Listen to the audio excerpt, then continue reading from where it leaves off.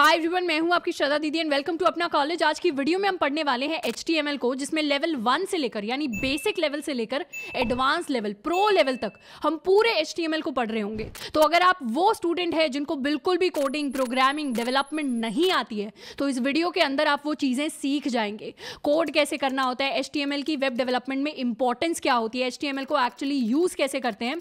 Website बनाने की आपकी जर्नी की बहुत अच्छी शुरुआत यहाँ पर हो रही होगी।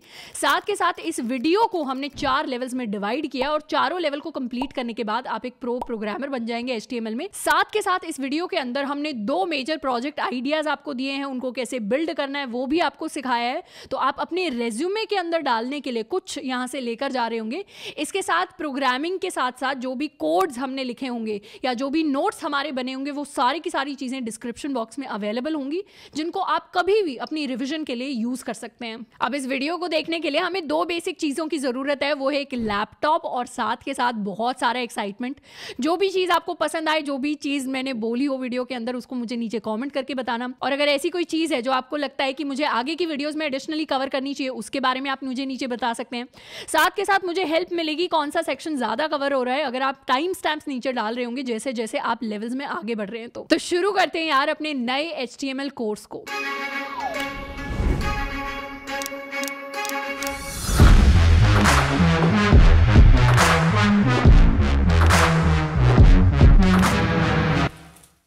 अब एचटीएमएल के लिए बहुत सारे टेक्स्ट एडिटर्स एग्जिस्ट करते हैं। इसके अंदर दो तीन तरीके के टेक्स्ट एडिटर्स होते हैं। एक वो जो हम अपने सिस्टम पर चला सकते हैं। कुछ हमारे पेड होते हैं, कुछ नहीं होते। तो यहाँ पे मैं दो तीन के बारे में आपको बता रही हूँ जिनमें से सबसे पहला है फ्रोएला अब Froala is an online text editor जो वन फ्री है। You can just go to the website आप वहाँ से डाउनलोड कर सकते हैं। इसके अंदर कुछ कुछ चीज़ें अच्छी हैं, जैसे आप स्टाइल एंड फॉर्मेटिंग वगैरह कर सकते हैं। इसमें इमेजेस एंड मीडिया है। जैसे आप जैसे ही एचटीएमएल का कोड सेव करेंगे, उसको आप प्रीव्यू करके देख सकते हैं। कुछ प्लगइन्स या कुछ थर्ड पार्टी इंटीग्रेशन वगैरह भी आपको मिल जाएँगी, कुछ फॉन्ट्स वगैरह मिल जाएँगी अपने एचटीएमएल के कोड को और बेटर बनाने के लिए। एंड इसके अंदर आप एडिटिंग वगैरह भी कर सकते हैं। अब इसमें सिर्फ़ एचटीएमएल नहीं, आप नॉर्मल इसको टेक्स्ट वगैरह लिखने के लिए भी यूज़ कर सकते हैं। तो सिंपली वेबसाइट पर जाना है, वहाँ पे एक बेसिक फॉर्म है, उसको फिल कर सकते हैं, उसको डाउनलोड कर सकते हैं। And you can use it completely freely on your system दूसरा एक टेक्स्ट एडिटर है अल्ट्रा एडिट के नाम से, जिसमें प्रोफेशनल लोगों के लिए काफ़ी सारे फीचर्स अवेलेबल हैं। So if you are a professional developer जो सोच रहा है कि एच की तरफ़ वो जा रहे हैं, आप फ्री वगैरह करते हैं, आप वेब डेवलपमेंट में अपनी एक प्रोफेशनल जर्नी की शुरुआत कर रहे हैं you are already doing a job तो this is a paid software जिसमें जाकर आप इसके फीचर्स जो हैं चेकआउट कर सकते हैं। इसके अंदर आपके पास कोड हाईलाइटिंग जैसे कुछ चीज़ें आ जाएँगी कोड टेम्पलेट्स आपको दिख जाएँगे सी एस कलर स्वॉपिंग आ जाएगी। इंटीग्रेट कर सकते हैं इसको आप अपने एस एस एच के साथ एफ़ इंटीग्रेशन भी पॉसिबल है एस इंटीग्रेशन भी पॉसिबल है। तो वो टूल्स एंड टेक्नोलॉजीज़ जो आपके प्रोफेशनल डेवलपमेंट एक्सपीरियंस को और ज़्यादा बेटर कर देंगी। वो सारी फंक्शनैलिटीज़ इसमें आपको मिल जाएँगी। And in fact even if you are using it for a personal project you can just try out the thirty day trial period उसको आप एक बार ट्राई कर लो एंड उसके बाद इफ़ यू लाइक इट तो आप किसी फ्री प्रोजेक्ट या किसी पेड इंटर्नशिप वगैरह के लिए आप इसको यूज़ कर सकते हैं। तो ये दो टेक्स्ट एडिटर्स हो गए एच के लिए, लेकिन अपनी वीडियो के लिए हम इस्तेमाल करने वाले हैं विजुअल स्टूडियो कोड यानी वी कोड का। अब जब भी हमें एक प्रोग्राम एक कोड लिखना होता है तो हमें कोड एडिटर की ज़रूरत पड़ती है। तो एचटीएमएल का कोड लिखने के लिए हम विजुअल स्टूडियो यानी वीएस कोड नाम के कोड एडिटर का इस्तेमाल करेंगे। कोड एडिटर्स को हम इमेजिन कर सकते हैं कि वो एक नोटबुक की तरह है, जैसे नोटबुक के अंदर हम डिफरेंट डिफरेंट चीज़ें लिखा करते हैं, वैसे ही जब भी हमें कोड लिखना होता है तो उसके लिए कोड एडिटर का हम इस्तेमाल कर लेते हैं, जिसके साथ काफ़ी सारे रिसोर्सेज काफ़ी सारी चीज़ें हैं यूज़फुल चीज़ें जो हमें मिल जाती हैं। अब एचटीएमएल का कोड वैसे तो आपने स्कूल में अगर कभी एचटीएमएल पढ़ा होगा तो आप देख रहे होंगे कि नोट में भी लिख सकते हैं। यानी आपके कंप्यूटर सिस्टम में जो नोट की फाइल्स बनती हैं डॉट टी से फ़ाइल बनती हैं, उनकी जगह आप. डॉट एच वाली फाइल्स बनाकर भी एचटीएमएल लिख सकते हैं, पर कोड एडिटर जो है, हमें काफ़ी सारी एक्सटर्नल फंक्शनैलिटी देगा। साथ के साथ शुरुआत से ही हम आपका वो इन्वायरमेंट प्रिपेयर करा देंगे कि आगे जाकर अगर आपको प्रोजेक्ट्स करने हैं, जिन प्रोजेक्ट्स को हम इस वीडियो में डिस्कस कर रहे होंगे, या फिर आपको खुद का अपना कुछ बिल्ड करना है, आगे जाके एक वेबसाइट बिल्ड करनी है, और ज़्यादा सॉफ्टवेयर सिस्टम्स बनाने हैं तो वो आपके लिए बनाना पहले से ही आसान हो जाएगा, क्योंकि पहले से ही सबसे जो सीमलेस प्रोसेस वाली चीज़ होती है ना, सबसे एफिशिएंसी वाली चीज़, उनको हम यूज़ करवा देंगे। अब वी एस कोड माइक्रोसॉफ्ट की तरफ़ से फ्रीली अवेलेबल है तो इसको कोई भी जाकर इस्तेमाल कर सकते हैं। तो सबसे पहले इसको डाउनलोड करने के लिए हम सर्च करेंगे इंटरनेट पर डाउनलोड वी एस कोड तो ये फ़र्स्ट जो लिंक आएगा, इस पर हमें चले जाना है। यहाँ पर साइट भी मैं बता देती हूँ code dot Visual Studio dot com slash download अब इसमें काफ़ी सारे ऑप्शन आ गए हैं। अब आप विंडोज़ मशीन पर हैं Windows seven eight ten eleven पर तो यहाँ पे आप अपने सिस्टम के हिसाब से कि सिक्सटी फोर बिट सिस्टम है तो कौन सा डाउनलोड करना है थर्टी टू बिट है तो कौन सा डाउनलोड करना है। मोस्टली लोगों का जो है सिक्सटी फोर बिट सिस्टम होता है तो इसको आप यहाँ पे क्लिक करके डाउनलोड कर सकते हैं। अगर आप लिनक्स पर हैं तो उसके हिसाब से आप डाउनलोड कर सकते हैं, या फिर मैक पर हैं तो उसके हिसाब से डाउनलोड कर सकते हैं। अब जब भी आप विंडोज़ के लिए डाउनलोड करेंगे तो बीच में काफ़ी सारे ना चेक बॉक्सेस हमारे लिए आएँगे। हमें क्या करना है? इन सारे के सारे चेक बॉक्सेस को टिक कर देना है। जैसे ही टिक करेंगे, हमारा विजुअल स्टूडियो कोड पूरी तरह इंस्टॉल हो जाएगा और इसको अब हम फ़र्स्ट टाइम खोल सकते हैं। तो अगर वेबसाइट के फ्रंट एंड की बात करें तो उसके तीन पार्ट्स होते हैं। सबसे पहले उसमें होता है हमारे लिए एच फिर सी एस एस फिर J S H T M L वो पार्ट है जो हमारी वेबसाइट के लिए एक स्ट्रक्चर बनाता है। स्ट्रक्चर किस तरीके से? कि बटन कहाँ पर होना चाहिए? या हमें कोई पैराग्राफ लिखना है अपने पेज के ऊपर तो वो कहाँ पर प्लेस्ड होना चाहिए? जैसे इस वेबसाइट के अंदर HTML ने बताया है कि डाउनलोड विजुअल स्टूडियो कोड ऊपर लिखा होना चाहिए। उसके नीचे ये सारी चीज़ें लिखी होनी चाहिए। उसके नीचे ये सारे आइकन्स हमें दिखाने और फिर डाउनलोड के लिए हमें बटन्स दिखाने हैं। अब हो सकता है आप अपनी जब वेबसाइट डिज़ाइन करें तो उसके अंदर लेआउट कुछ और हो।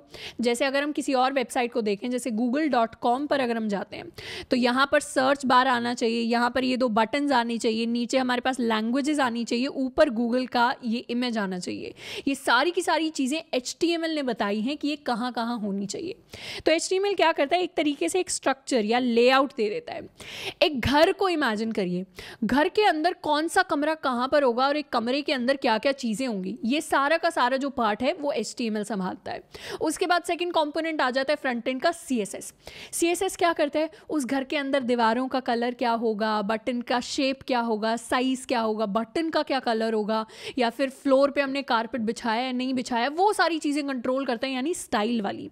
सीएसएस का मतलब होता है कैस्केडिंग स्टाइल शीट्स ये वो कोड का पार्ट होता है जो डिफाइन करता है कि आपका जो वेब पेज है, उसका स्टाइल क्या होना चाहिए। जैसे वीएस कोड वाली साइट पर अगर जाएँ तो यहाँ पर ये सारे का सारा जो टेक्स्ट लिखा है, इसका फॉन्ट क्या होने वाला है, इसका फॉन्ट साइज़ क्या होने वाला है, ये सारी चीज़ें जो है ना सीएसएस कंट्रोल करेगा। और तीसरा कॉम्पोनेंट आ जाता है हमारा जावास्क्रिप्ट जावास्क्रिप्ट क्या करता है? फंक्शनैलिटी डिफाइन करता है। जैसे आपने घर बना लिया स्ट्रक्चर बना लिया, उसके अंदर कमरे आ गए, उसके अंदर स्विचेज आ गए, उसके अंदर लाइट है, उसके अंदर फ़ैन है, फिर आपने ये भी डाल दिया कि उनका कलर क्या होगा। अब फ़ैन फ़ैन का जब आप बटन दबाएँगे तो एक्चुअली हमारा पंखा जो है चलना चाहिए, हमारी लाइट जो है ऑन ऑफ़ होनी चाहिए। ये सारी जो फंक्शनैलिटी है, जो अंदर का लॉजिक है, वो कौन लेकर आता है? वो लेकर आता है एक वेबसाइट के अंदर जावास्क्रिप्ट तो इस बटन पर क्लिक करने के बाद मेरे लिए कुछ चीज़ें डाउनलोड हो रही होंगी, ये मेरे लिए डिफाइन करेगा मेरा जावास्क्रिप्ट तो एच स्ट्रक्चर बताता है सीएसएस स्टाइल बताता है और जावास्क्रिप्ट हमारे लिए लॉजिक बनाता है। इस वीडियो को हमने चार पार्ट्स में डिवाइड किया है, जिनको हम लेवल्स कहेंगे पार्ट्स की जगह level one level two level three and level pro level pro करने के बाद आप ऑलमोस्ट मतलब हंड्रेड से भी ऊपर परसेंटेज वाली वो सारी चीज़ें एक बार देख रहे होंगे, सीख रहे होंगे, जो किसी भी वेबसाइट को बनाने के लिए जितनी एच आपको आनी चाहिए। अब सबसे पहले बात करते हैं अपने लेवल वन की, जिसके अंदर हम डिस्कस करने वाले हैं about the basics of H ऐसी कुछ चीज़ें जो सारे वेब डेवलपर्स को पता होती हैं, वो आपको भी पता होनी चाहिए जब भी हम एचटीएमएल की बात करते हैं।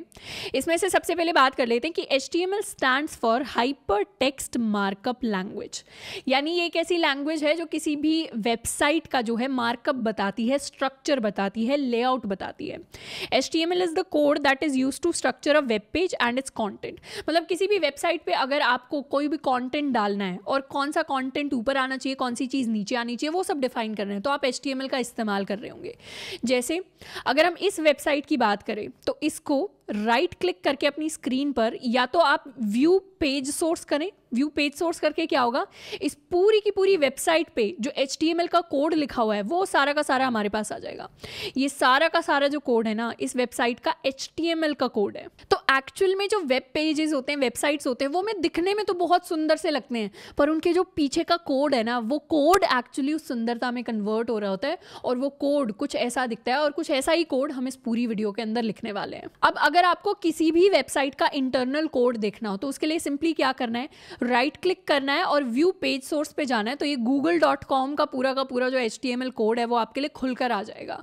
अब जब आप इस कोड को कॉपी करेंगे तो आप सोच सकते हैं कि हाँ इस कोड को कॉपी करके तो मैं पूरी वेबसाइट रिक्रिएट कर लेता हूँ, पर लॉजिकली ऐसा नहीं होता है। कुछ पार्ट्स आप कॉपी कर सकते हैं रिक्रिएट कर सकते हैं, पर कंप्लीटली किसी वेबसाइट को इस तरीके से कॉपी नहीं कर सकते, क्योंकि सिर्फ़ फ्रंट एंड नहीं होता वेबसाइट्स में बैक एंड भी होता है, पर वो सारी चीज़ें एक्स्ट्रा हैं। अभी के लिए हमें समझना है व्यू पेज सोर्स करके हम किसी भी वेब पेज का जो है एच कोड देख सकते हैं। तो राइट क्लिक करके हम इंस्पेक्ट करके इस कोड को और थोड़े से क्लीन फॉर्मेट में देख सकते हैं। प्लस ये जो एरो बटन ऊपर स्क्रीन पर आता है, उससे हम देख सकते हैं कि कितना पार्ट कौन से हमारे हिस्से को दिया गया है।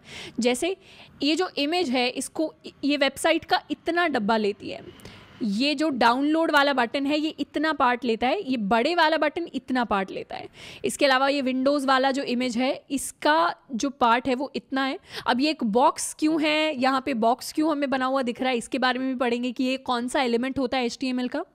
ये वाला जो बटन है, ये एरो बटन इतना सा पार्ट ले रहा है डाउनलोड वाला बटन उसके बाद जो पूरा का पूरा बड़े वाला बटन है, उसके अंदर हमारे दो तीन आप लेवल्स देख रहे होंगे कि बाहर वाला लेवल क्या है, उसके अंदर एक और लेवल का हमें डब्बा दिख रहा है, उसके अंदर एक और डब्बा दिख रहा है। तो ये सारी स्ट्रक्चरिंग होती है एच में। तो एच के अंदर एलिमेंट्स किस किस तरीके से बने हुए हैं, उनको हम एनालाइज भी कर सकते हैं। अभी के लिए बस छोटी सी चीज़ एक और समझनी है कि अपना जो पेज है, उसका साइज़ क्या है, हम उसको भी एनालाइज कर सकते हैं। जैसे, हमारा जो ये वेबसाइट का पेज है, ये हमारे आईफोन 12 प्रो पर कैसा दिखेगा? कुछ ऐसा दिखेगा। हम वो भी देख सकते हैं। अगर मान लीजिए हमारे पास है गैलेक्सी फोल्ड तो उस पर कैसा दिखेगा? उस पर ये पेज कुछ ऐसा दिख रहा होगा। अगर हमारे पास आईपैड एयर है तो उस पर ये पेज कुछ ऐसा दिख रहा होगा। तो डिफरेंट डिफरेंट डिवाइसेस के हिसाब से आपको अपने पेज को एचटीएमएल पेज को कस्टमाइज कैसे करना है? कौन से डिवाइस में किस तरीके से कोई चीज़ दिखनी चाहिए, वो भी आप स्पेसिफाई कर सकते हैं एचटीएमएल की हेल्प से। जब भी आपको देखना हो कि डिफरेंट डिफरेंट डिवाइसेस पर कैसे दिखेंगे तो ऊपर जाकर डायमेंशंस में जाना है। यहाँ से डिवाइस फिर डायमेंशंस एंड उसके बाद आपके कुछ बाय डिफ़ॉल्ट डिवाइसेज आ रहे होंगे, उनको देखकर आप चेक कर सकते हैं। जब भी कोई अच्छी सी, सुंदर सी वेबसाइट दिखे जिसके बारे में आप क्यूरियस हो रहे हो, ये बनी कैसे इसका कोड कैसे कैसा है तो आप पेज सोर्स पर जा सकते हैं और आप उसको इंस्पेक्ट कर सकते हैं। अब बात करें एच की तो the component use to design the structure of websites are called H tags ये जो हमारी वेबसाइट के ऊपर पूरा का पूरा एक डब्बा डिज़ाइन हो रहा है, एक आइकन हो रहा है, एक इमेज हो रही है, एक बटन हो रहा है, ये सारी की सारी चीज़ें एच टैग्स की मदद से बनाई जाती हैं। एच के अंदर एक कॉम्पोनेंट होता है, जिसको एच टैग कहते हैं। टैग की हेल्प से आप डिफरेंट डिफरेंट तरीके के आइटम्स जो हैं, वो क्रिएट कर सकते हैं, क्योंकि अलग अलग तरीके के टैग्स एग्जिस्ट करते हैं। अब सबसे पहले क्या करेंगे? अपनी फ़र्स्ट फ़ाइल क्रिएट करेंगे एचटीएमएल के अंदर। तो उसके लिए हम अपने डाउनलोडेड विजुअल स्टूडियो कोड पर जाना चाहते हैं। अब मेरा विजुअल स्टूडियो थोड़ी कुछ चीज़ों से भरा हुआ है। हो सकता है आपके पास इतनी सारी चीज़ें ना हो, क्योंकि मेरा ऑलरेडी डाउनलोडेड पड़ा था। हमें क्या करना है? इसमें ओपन करना है अपना एक फ़ोल्डर हम एक नया फ़ोल्डर क्रिएट करने वाले हैं। उसको नाम दे देंगे एच ट्यूटोरियल इसको क्रिएट कर लेते हैं एंड इसको कर लेते हैं ओपन अब सबसे पहले अपने वी एस कोड को खोलने के बाद इसमें हमें एक एक्सटेंशन इंस्टॉल करनी है। यहाँ एक्सटेंशन वाला ये बटन है, इसके ऊपर हम जा सकते हैं और एक्सटेंशन हमें इंस्टॉल करनी है लाइव सर्वर तो हम क्या करेंगे? लाइव सर्वर पर जाएँगे। इस वाले लाइव सर्वर पर जाना है जिसपे I think around nineteen point six million जो डाउनलोड्स हैं अभी हैं। इसको कर लेंगे इंस्टॉल इसको कर लिया है हमने इंस्टॉल एक बार हो सकता है अगर आपके में डायरेक्टली रन ना करे तो आपको बंद करके दोबारा से रीस्टार्ट करना पड़े VS कोड को but that is completely fine अब यहाँ फ़ाइल वाले ऑप्शन में जाएँगे। एंड अपने लिए एक फोल्डर हमने बना ही लिया था H T M L tutorial जिसको हमने खोला हुआ है। एक नई फ़ाइल बनाएँगे। इस नई फ़ाइल को हम नाम देंगे index dot H T M L और ये index dot H T M L हमारे लिए खुलकर आ गई है। अब ये जो फ़ाइल है हम ऑलरेडी डिस्कस कर चुके हैं कि आप नोट पैड के ऊपर भी बना सकते हैं, पर यहाँ पर अभी मैं दिखाऊँगी कि क्या क्या हमें फंक्शनैलिटीज़ मिल जाती हैं, जिसकी वजह से वी एस कोड या किसी और टेक्स्ट एडिटर पर करना बहुत ज़्यादा हेल्पफुल होता है as compare to a notepad अब जब भी हम एच टी एम एल की फाइल्स बनाते हैं, वो एंड होती हैं. Dot H T M L extension के साथ। इसकी जगह आप. डॉट एच टी एम जो है, वो भी लिख सकते हैं, पर यूजुअली जो मोस्ट पॉपुलर है, वो. Dot H T M L है, क्योंकि वो अपडेटेड जो वर्जन है एक्सटेंशन एक्सटेंशन का, जैसे टेक्स्ट फाइल्स को हम डॉट टी से क्रिएट करते हैं पाइथन की फाइल्स को डॉट पी से करते हैं, वैसे ही यहाँ पर एच फाइल्स को डॉट एच से हमें ख़त्म करके सेव करना होता है। अब जो भी एक वेबसाइट बनती है, जो भी एक सॉफ्टवेयर बनता है, उसके अंदर से फ्रंट एंड नहीं होता मतलब सिर्फ़ एच नहीं होता, उसके अंदर अपना एक बैक एंड भी होता है। तो इंडेक्स डॉट एच नाम इस फ़ाइल का रखने के पीछे लॉजिक है कि हमारा जो बैक एंड होता है, उसको शुरुआत में एक होम पेज चाहिए होता है। जब भी आप किसी वेबसाइट को खोलते हैं, उस वेबसाइट का सबसे पहले एक होम पेज खुलता है। जैसे फॉर एग्ज़ाम्पल अगर हम एक वेबसाइट सर्च करना चाहें गूगल डॉट कॉम तो ये गूगल डॉट कॉम का होम पेज है जो हमारे लिए खुल रहा है। उसके बाद हम यहाँ पर कुछ भी जो सर्च कर सकते हैं, वो हम सर्च कर लेंगे और चले जाएँगे किसी और सब पेज पर।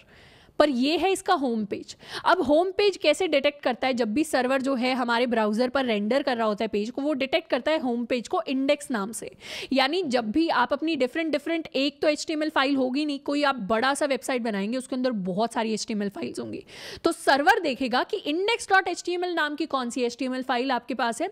और फिर उस फ़ाइल को बाय डिफ़ॉल्ट वो आपका होम पेज बना देता है। अगर आपने index dot H T M L नाम की फ़ाइल जो है अपनी वेबसाइट के अंदर नहीं क्रिएट की तो आपको सर्वर को अलग से जाके बताना पड़ेगा कि ये वाली दूसरी जो फ़ाइल है, ये मेरा होम पेज होने वाली है। लेकिन बाय डिफ़ॉल्ट ये मतलब बहुत अच्छा प्रोग्रामर्स का जो है तरीका है प्रोग्रामर्स की टेक्निक है कि हम हमेशा index dot H T M L के साथ शुरुआत करते हैं, उसको अपने होम पेज की तरह ट्रीट करते हुए, उसके अंदर अपनी सारी इंपॉर्टेंट चीज़ें या मेजर चीज़ें जो है वो लिख रहे होते हैं। अब अपने H T M L page को देखें तो इसके अंदर हम एक बार एक्सक्लेमेशन टाइप कर देंगे। और जैसे ही आप एक्सक्लेमेशन टाइप करेंगे ना VS कोड के अंदर ये दो आपके लिए फीचर्स आएँगे।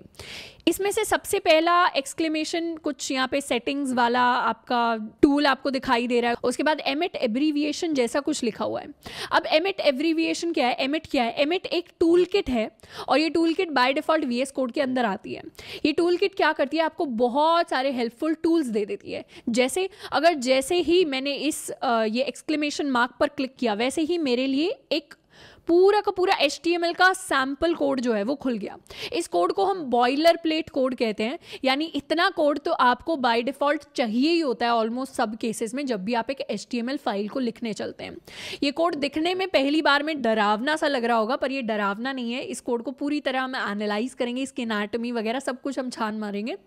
बस समझने वाली चीज़ सबसे पहले ये है कि वीएस कोड ने आपके लिए आसान कर दिया कि आपको पूरा कोड खुद से ना याद करना है, ना देखना है, ना लिखना है। हमें सिंपली जाना है इस ऑप्शन पर और एमिट पर हमें क्लिक करके पूरा का पूरा हमें बॉयलर प्लेट कोड मिल रहा होगा। अब ये जो फंक्शनैलिटी है, ये नोट पर अगर आप कोड लिख रहे होते तो आपको नहीं मिल रही होती तो काफ़ी सारी और इंपॉर्टेंट चीज़ें जो हैं हम सीखेंगे धीरे धीरे अब एक और सवाल आपके दिमाग में आया होगा कि हमने एक एक्सटेंशन इंस्टॉल की थी लाइव सर्वर उसको हमने क्यों इंस्टॉल किया? जैसे ही हम इस HTML को खोलेंगे ना, हम इधर नीचे जाकर गो लाइव में जा सकते हैं और हमारे लिए क्या होगा? हमारा पूरा HTML पेज हमारे लिए खुल जाएगा। अब अभी के लिए हमने HTML में कुछ नहीं लिखा, इसलिए हमारा पेज हमें खाली लग रहा है। अगर मान लीजिए मैं यहाँ पे सैंपल के तौर पर कुछ भी लिख दूँ, अभी के लिए ध्यान नहीं देना है कि ये क्या मैंने लिखा हुआ है, इसका क्या मतलब है। सिर्फ़ देखना है। हेलो वर्ल्ड इसको कर लेती हूँ सेव और जैसे ही मैं वापस गई, मेरे लिए हेलो वर्ल्ड मेरी स्क्रीन पर प्रिंट होकर आ गया। हेलो वर्ल्ड बाय डिफ़ॉल्ट वो स्टेटमेंट होती है जो कोई भी आप नई प्रोग्रामिंग लैंग्वेज कुछ भी सीख रहे होते हैं तो कोडिंग के अंदर आपको लिखनी पड़ती है एटलीस्ट मैं तो लिखना ज़्यादा पसंद करती हूँ। तो हेलो वर्ल्ड मेरी स्क्रीन पर आ गया, मुझे कुछ रिफ्रेश या कुछ और नहीं करना पड़ा। तो लाइव सर्वर वो एक्सटेंशन है जिसकी मदद से बार बार आपको सेव करके रिफ्रेश या दोबारा से ओपन नहीं करना पड़ेगा अपना वेब पेज आप डायरेक्टली यहाँ पर कोड लिखेंगे सेव करेंगे, वापस से अपने वेब पेज पर जाएँगे जो खुला है और आपके लिए सारा का एच का जो आउटपुट है वो डिस्प्ले होकर हमें दिख जाएगा। अब ऊपर आप नोटिस कर रहे होंगे कि ये जो है सर्वर हमारा खुल गया है और एक इंडेक्स डॉट एच नाम की फ़ाइल जो है खुली है। अब फॉर एग्ज़ाम्पल मैं इस फ़ाइल का जो है नाम चेंज कर दूँ। इसको हम कर लेते हैं रीनेम और इस फ़ाइल को कुछ और नाम दे देते हैं। इसको नाम दे देते हैं हम इंडेक्स टू डॉट एच अब इसको सेव करते हैं। तो क्या इसने डिस्प्ले किया? Cannot get index dot H T M L यानी बाई डिफ़ॉल्ट ये सर्वर जो है index dot H T M L को ढूंढ रहा है। इसीलिए हमेशा ध्यान रखें कि जब अपनी first file as a home page create करें तो उसको नाम दें इंडेक्स डॉट एच अब ये जो बड़ा सा कोड हमें दिख रहा है, इसके बारे में टेंशन ना लेते हुए सबसे पहले बात करते हैं कि एच टैग्स क्या होते हैं। एच के अंदर एक कंटेनर होता है। कंटेनर यानी जैसे हमारी किचन के अंदर कुछ डब्बे रखे होते हैं, जिसके अंदर कुछ कुछ मसाले होते हैं, कहीं चीनी रखी होती है, कहीं नमक रखा होता है तो वो डब्बे हमारे कंटेनर्स होते हैं, जिसके अंदर कुछ कॉन्टेंट होता है, यानी कुछ सामान होता है।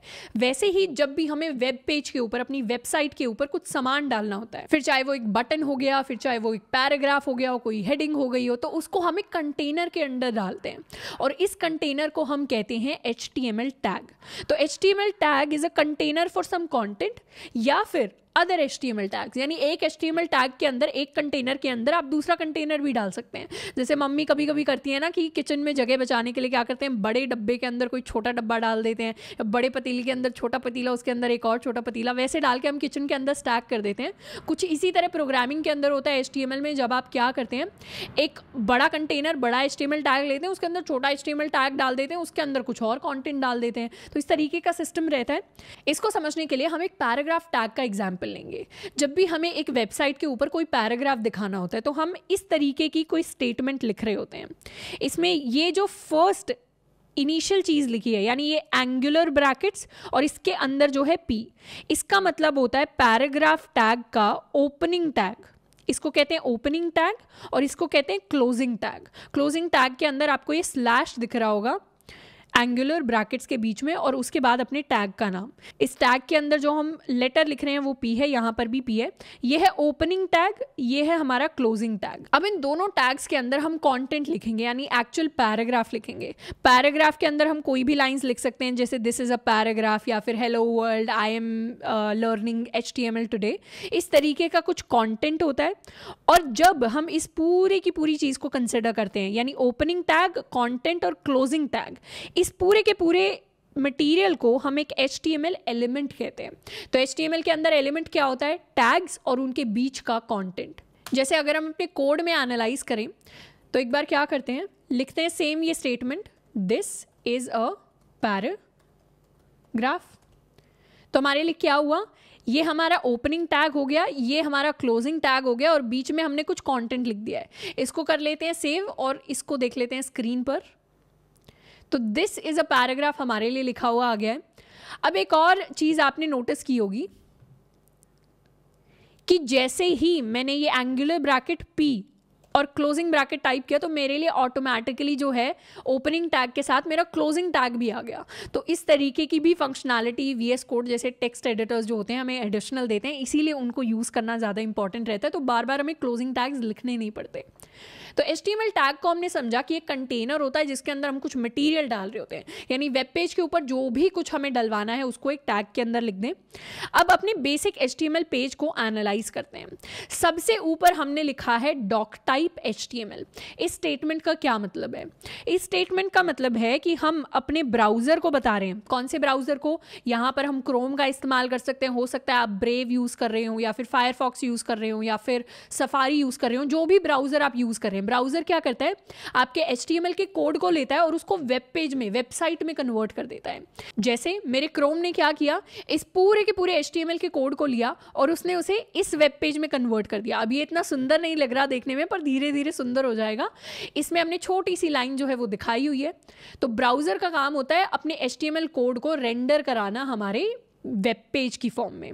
तो डॉक टाइप एचटीएमएल बताता है कि जो हम डॉक्यूमेंट लिख रहे हैं, इसका टाइप क्या है? इसका टाइप है एचटीएमएल और इस डॉक टाइप से हमें पता चलता है कि एचटीएमएल का कौन सा वर्जन हम इस्तेमाल कर रहे हैं। यहाँ पर जब हम इस तरीके से लिखते हैं तो इसका मतलब है हम H T M L five का इस्तेमाल कर रहे हैं। तो वर्जन नंबर फाइव जो है हम इस्तेमाल कर रहे हैं इस डॉक्यूमेंट को लिखने के लिए। उसके बाद सेकेंड चीज़ हम देख रहे होते हैं, हमारे लिए एक एच टी एम एल का ओपनिंग और एक एच टी एम एल का क्लोजिंग टैग आता है। इसमें भी हम देखेंगे कि एच टी एम एल का ओपनिंग और एच टी एम एल का क्लोजिंग टैग आया है। ये टैग हमें बताता है कि this is the root of an H T M L document जैसे एच टी एम एल का जो पेज होता है ना, वो पूरा का पूरा बड़ा पेज एक H T M L element होता है और वो सबसे बड़ा एलिमेंट होता है। अब उसके अंदर आप पैराग्राफ डाल दें, कहीं बटन डाल दें, कहीं आप कोई हेडिंग डाल दें, वो सारे सब एलिमेंट्स हैं। यानी बड़ा जो हमारा पूरा का पूरा वेब पेज होता है, वो खुद में एक एलिमेंट होता है। उसके अंदर एक टैग होता है, उसके अंदर बहुत सारा कंटेंट होता है। कंटेंट किस तरीके से होता है? एचटीएमएल टैग के अंदर खुद के बहुत सारे टैग्स होते हैं। वो सारा एच पेज का कॉन्टेंट है। तो एचटीएमएल को हम रूट एलिमेंट कहते हैं, क्योंकि ये सबसे बड़ा एलिमेंट है और सबसे शुरुआती एलिमेंट है। उसके बाद एचटीएमएल के अंदर देखेंगे, हमारे पास आता है हेड टैग और एक बॉडी टैग अब हेड क्या करता है? हेड वो चीज़ें बताता है हमारे एचटीएमएल डॉक्यूमेंट के लिए जो हमें वेब पेज पर डिस्प्ले नहीं करनी, जो बस हमारे कोड को पता होनी चाहिए। और बॉडी टैग बताता है वो चीज़ें जो एक्चुअली हमारे पेज पर डिस्प्ले होती हैं। जैसे हेड के अंदर हमारे पास कुछ मेटा इन्फॉर्मेशन होती है। मेटा इन्फॉर्मेशन यानी डेटा अबाउट डेटा वो इन्फॉर्मेशन जो यूज़फुल है, पर हमें अपने पेज के ऊपर उसको डिस्प्ले नहीं कराना। जैसे हमने यहाँ पे नेम व्यू पोर्ट लिखा हुआ है कंटेंट विथ डिवाइस विथ ली हुई है। ये व्यू पोर्ट वाली जो चीज़ है, ये बेसिकली बताती है कि आपकी जो वेबसाइट है, वो रिस्पॉन्सिव होनी चाहिए। यानी अलग अलग डिवाइसेस जिनकी हमने बात की थी अभी, आपकी जो वेबसाइट है, वो आईपैड एयर पर भी अच्छी दिखे। आपकी जो वेबसाइट है, वो हमारे पिक्सल फाइव पर भी अच्छी दिखे। हमारी जो वेबसाइट है, वो हमारे सैमसंग गैलेक्सी पे भी अच्छी दिखे। मतलब कहीं पे पिक्सल फटवट ना रहे हो, कहीं पे कंपोनेंट जो है वो बहुत बड़ा ना हो रहा हो, वैसी चीज़ें ना हो रही हो, इसलिए उस तरीके से हमें वेबसाइट को डिज़ाइन करना पड़ता है कि छोटी स्क्रीन पे भी अच्छी दिखे और बड़ी स्क्रीन पे भी। जैसे आजकल लोग जो है बहुत ज़्यादा अपने फ़ोन्स पे वेबसाइट्स खोलते हैं तो आजकल फ़ोन के हिसाब से वेबसाइट काफ़ी ज़्यादा डिज़ाइन होती है लैपटॉप के हिसाब से डिज़ाइन होती है तो उस तरीके से आपको देखना पड़ता है कि आप अलग अलग डिवाइसेस के लिए अच्छे से वेबसाइट डिज़ाइन कर रहे हैं। इस चीज़ को हम रिस्पॉन्सिवनेस कहते हैं। कि हमारी वेबसाइट रिस्पॉन्सिव कितनी है, कितना अच्छा रिस्पॉन्स देती है, जैसे ही हम स्क्रीन का साइज़ चेंज कर देते हैं एस्पेक्ट रेशो चेंज कर देते हैं। ये जो यहाँ पे आपको फोर वन टू दिखाई दे रहा होगा नाइन वन फोर दिखाई दे रहा होगा, ये है एस्पेक्ट रेशो यानी दिखाता है कि हमारा स्क्रीन का साइज़ कितना होने वाला है। तो यहाँ पर ये जो व्यू पोर्ट वाली स्टेटमेंट है, ये वाली स्टेटमेंट ये बेसिकली हमारे एच पेज को रिस्पॉन्सिव होना है, ये बता रही है। तो ये सारी जो इन्फॉर्मेशन है, ये सारी काम की इन्फॉर्मेशन है, पर ये हमारे वेब पेज पर डिस्प्ले नहीं होगी। तो हेड के अंदर वो सारा पार्ट आता है जो वेब पेज पर डिस्प्ले नहीं होगा, यहाँ पे हम अपने एच डॉक्यूमेंट को एक टाइटल दे सकते हैं। जैसे इसको हम टाइटल दे सकते हैं माई फ़र्स्ट पेज तो यहाँ पे हम बात करें तो ये टाइटल भी खुद में एक टैग है जिसके अंदर टाइटल जो है हम लिखते हैं। उसके बाद आ जाती है हमारी बॉडी हम मोस्टली इस वीडियो के अंदर बॉडी के अंदर के सारे के सारे टैग्स को डिस्कस कर रहे होंगे. बॉडी टैग के अंदर वो सारी चीज़ें आती हैं जो डेटा को रेंडर कराने में हेल्प करती हैं ब्राउज़र के ऊपर. यानी क्या क्या डेटा मुझे वेब पेज पर दिखाना है, वो सारा बॉडी के अंदर लिख रहे होते हैं. जैसे हमने यहाँ पर पैराग्राफ टैग बनाया, उसके अंदर हमने लिख दिया दिस इज़ अ पैराग्राफ और वो सारा का सारा जो चीज़ है हमारे वेब पेज पर एक्चुअली जाकर हमारे लिए डिस्प्ले हुआ। तो जो चीज़ हमें डिस्प्ले करानी है वेब पेज के ऊपर, उसको लिख देंगे अपने बॉडी टैग के अंदर। तो ये कुछ फॉर्मेट रहता है किसी भी बेसिक एचटीएमएल पेज को लिखने का। जब भी हम शुरुआत करेंगे, ये सारी चीज़ें हमें लिखनी चाहिए। अब इनमें से कुछ कुछ ऐसी चीज़ें हैं जिनको आप हटा देंगे तो भी आपका कोड चल जाएगा। पर वो एक ऑप्टिमम कोड नहीं होगा। उस तरीके से कोड लिखना कहीं भी एडवाइजेबल नहीं होता। अगर आपको प्रोफेशनली अच्छा करना है या बहुत अच्छे प्रोजेक्ट्स बनाने जिनको रेज्यूमे के अंदर आप डालने वाले हैं रिक्रूटर चेक कर सकता है कोड को। तो फिर उस हिसाब से आपको प्रॉपरली अपना कोड लिखना चाहिए। तो ये सारी चीज़ें मेंशन करनी है अपने कोड के अंदर। और इन सारी चीज़ों का मतलब जो है, एक तो एचटीएमएल की फ़ायदा ये होता है कि किसी भी टैग का नाम देखकर आपको याद आ जाता है कि हाँ ये इस चीज़ का टैग था। तो इतनी ज़्यादा चीज़ें हमें याद नहीं करनी पड़ती। प्लस ये सारे के सारे नोट्स नीचे आपको डिस्क्रिप्शन बॉक्स में मिल जाएँगे तो फिर कुछ ऐसे याद एज सच करने की ज़रूरत नहीं है। प्रैक्टिस के साथ साथ चीज़ें जो हैं, अपने दिमाग में ऑटोमेटिकली बैठती जाएँगी। कुछ भी कहीं भी प्रॉब्लम आती है अगर HTML को सीखने में तो ऑनलाइन बहुत सारे रिसोर्सेज अवेलेबल हैं और नोट्स तो आप कभी भी खोल कर देख सकते हैं रिविजन के लिए। अब विजुअल स्टूडियो कोड का एक और छोटा सा फ़ायदा होता है कि किसी भी चीज़ के बारे में मतलब इस डॉक्यूमेंट में कुछ भी लिखा है, उसके बारे में आपको और जानकारी चाहिए। तो आप सिंपली क्या कर सकते हैं, वहाँ पर जाकर आप क्लिक करेंगे ना तो MDN का एक लिंक आ जाएगा MDN रेफरेंस आ जाएगी। MDN क्या है मोजिला की तरफ़ से एक डेवलपर्स गाइड है पूरा का पूरा, उसमें डॉक्यूमेंटेशन है एच का CSS का, बाकी चीज़ों का।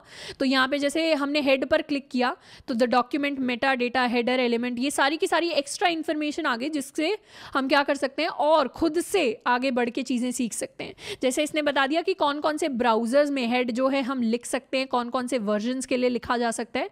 ब्राउज़र कंपैटिबिलिटी बता दी तो उसके यूजेजेस एग्जाम्पल्स काफ़ी सारी चीज़ें आपको एमडिन पे मिल जाएगी। तो साथ साथ मैं एडवाइस करूँगी कि आप एक बार ट्यूटोरियल ख़त्म कर लेते हैं, उसके बाद जब खुद से प्रोजेक्ट करने जाते हैं ना तो साथ साथ थोड़ी थोड़ी चीज़ें हमें एक्सप्लोर ज़रूर करनी है। नेक्स्ट हम बात करते हैं कुछ क्विक पॉइंट्स की। इसमें सबसे पहला पॉइंट है कि HTML tag is parent of head and body tag अब यहाँ पे हमने एक हेड टैग देखा और एक बॉडी टैग देखा। ये बॉडी वाला पार्ट है, ऊपर हेड वाला पार्ट है। हेड और बॉडी इन दोनों जो टैग्स हैं, उनका पेरेंट जो टैग होता है, वो हमारा एच टैग होता है। तो बाय डिफ़ॉल्ट हेड और बॉडी जो टैग हैं, वो हमारे एच टैग टैग के चिल्ड्रन हो जाते हैं और एक दूसरे के सिबलिंग हो जाते हैं। आई होप ये अंडरस्टैंडिंग थोड़ी सी क्लियर होगी। ये बस बताने के लिए है, इसका कोडिंग पर कोई फ़र्क हमारा पढ़ने नहीं वाला। Most of the H T M L elements have opening and closing tags with content in between most of जो हमारे एच टी एम एल के डॉक्यूमेंट्स होते हैं, जैसे हम पैराग्राफ की भी बात कर लें तो उसके अंदर हमारे पास कुछ कॉन्टेंट होता है और एक ओपनिंग टैग होता है, एक क्लोजिंग टैग होता है। ऐसे भी टैग्स एग्जिस्ट करते हैं जिसमें ओपनिंग क्लोजिंग अलग अलग नहीं होता, सिर्फ़ एक सिंगल चीज़ आपको लिखनी पड़ती है। जैसे नेक्स्ट लाइन के लिए हम एक बी आर टैग का इस्तेमाल कर रहे होते हैं। और ये पूरा का पूरा बी आर जो है ब्रेक लाइन टैग ये इतना ही लिखा जाता है। इसके अंदर ना ओपनिंग होती है, ना क्लोजिंग होती है, बस इतना ही होता है। नेक्स्ट है some tags have no content in between जैसे हमारा बी आर टैग हो गया।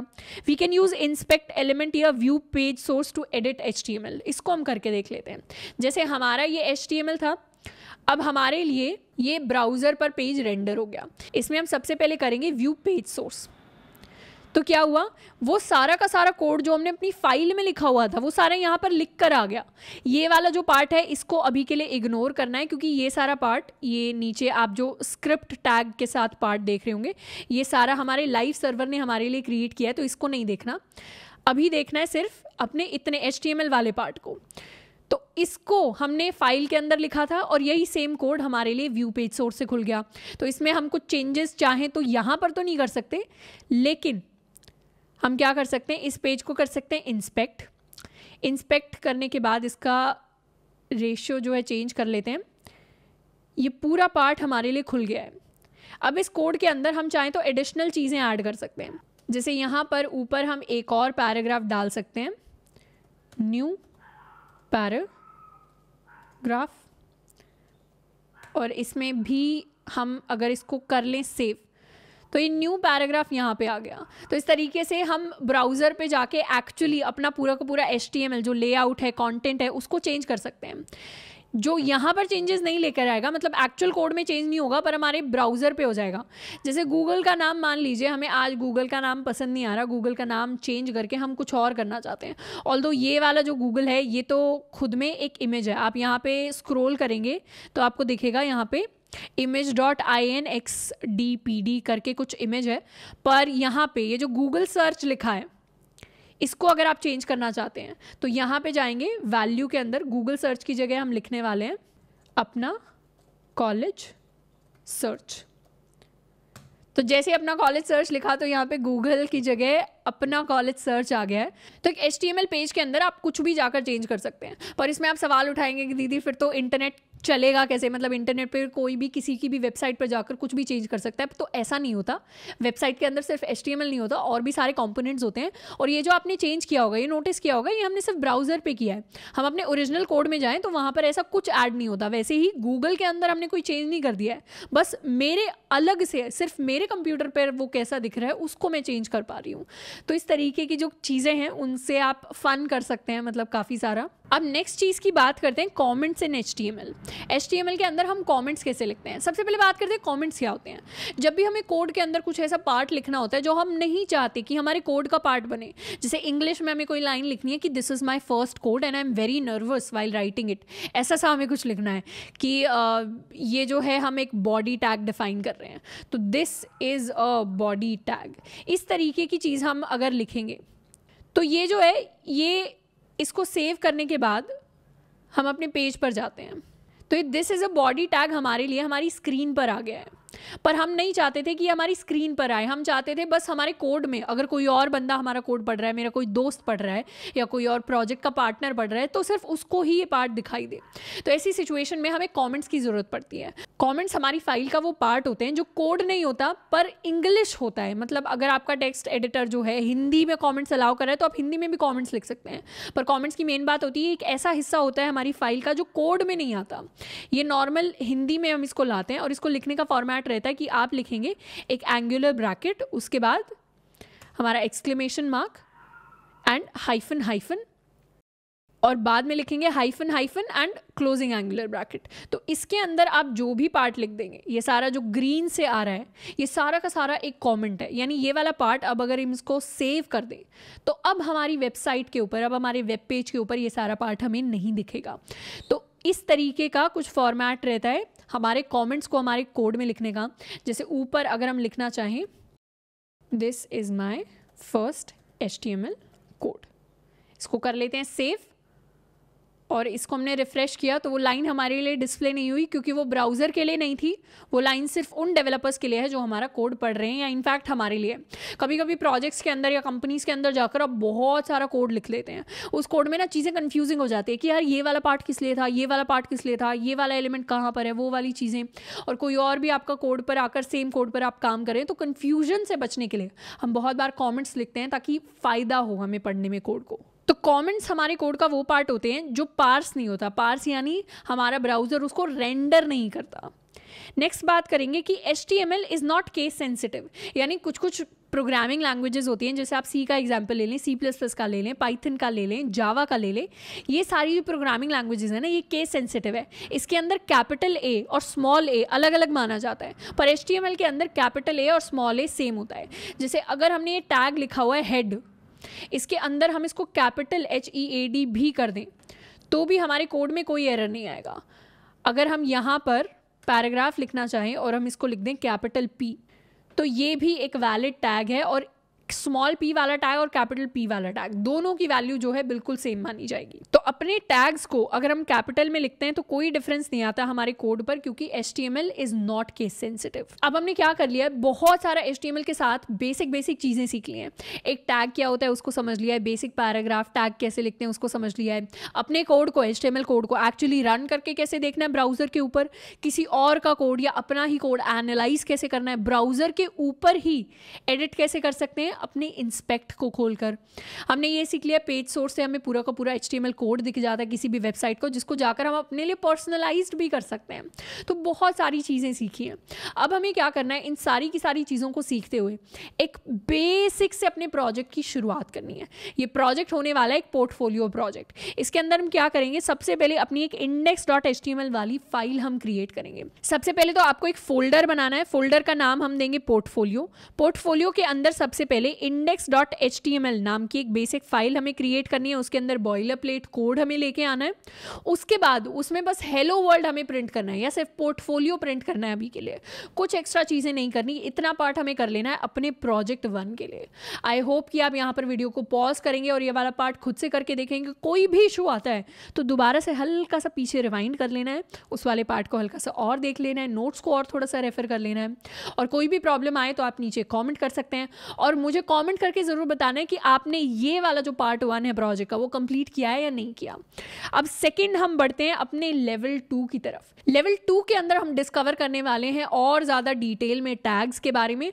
और सबसे पहले जो हम बेसिक्स ऑफ़ एच टैग्स में पढ़ेंगे, वो है हमारे एच टी एट्रीब्यूट्स एच के अंदर टैग्स के साथ साथ एट्रीब्यूट्स होते हैं। एट्रीब्यूट्स यानी कोई प्रॉपर्टी एसोसिएटेड होती है। जैसे attributes are use to add more information to the tag अब जैसे पैराग्राफ टैग को हमने देख लिया, ये ओपनिंग टैग है, ये क्लोजिंग टैग है।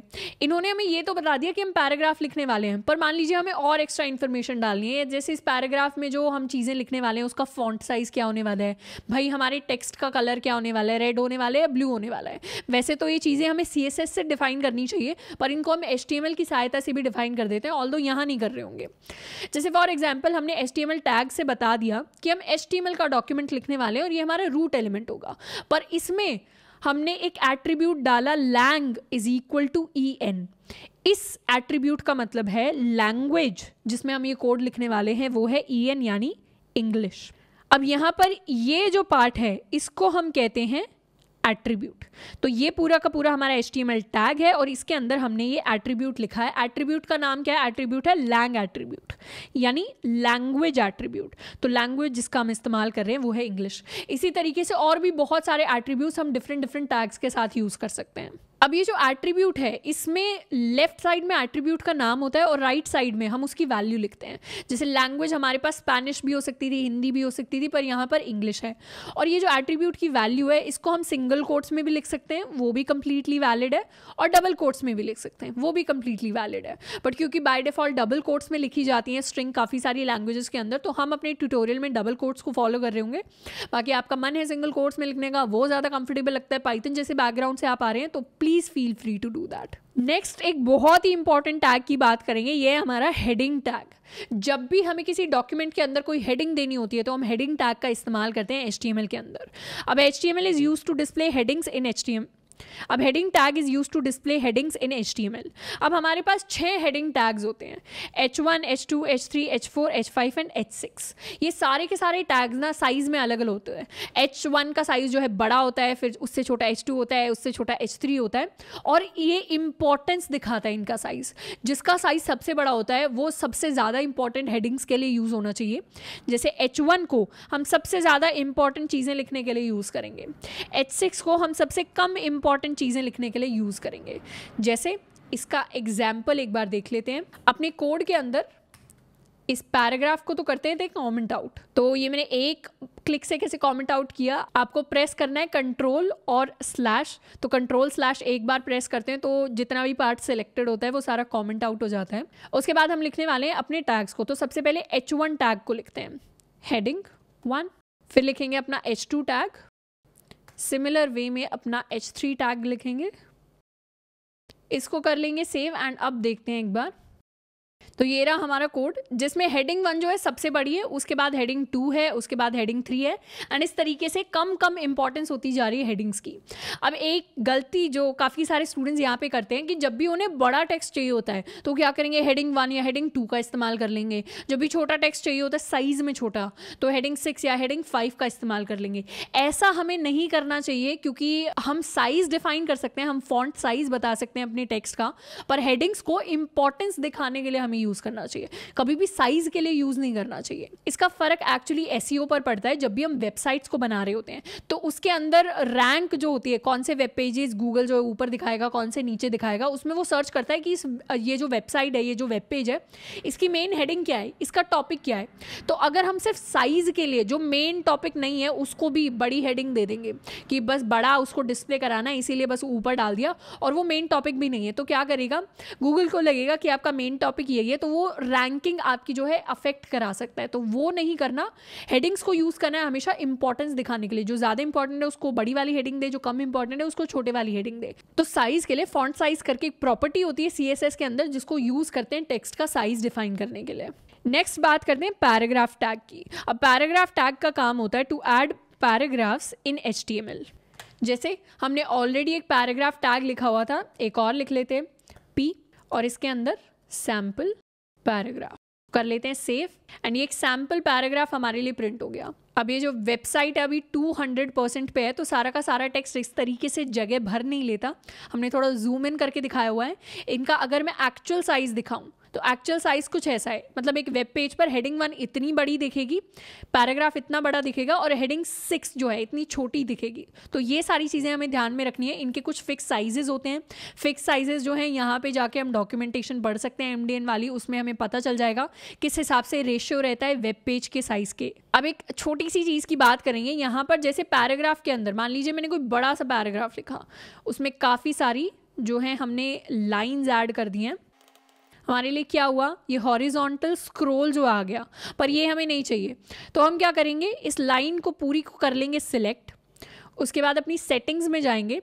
सेटिंग्स में जाकर कमांड पैलेट ओपन करेंगे और उसमें टॉगल वर्ड रैप करके आएगा। अगर नहीं आ रहा है तो फिर आप इसको सर्च भी कर सकते हैं, टॉगल वर्ड रैप। इस पर क्लिक करेंगे तो ये सारी की सारी जो चीज़ें हैं ना, वो इस तरीके से आ जाएँगी कि हॉरिजॉन्टल स्क्रोल हमारे लिए हट जाएगा और एक ही पेज में हमें सारी चीज़ें दिख जाएँगी। ऐसे साइड साइड करके नहीं देखना पड़ेगा।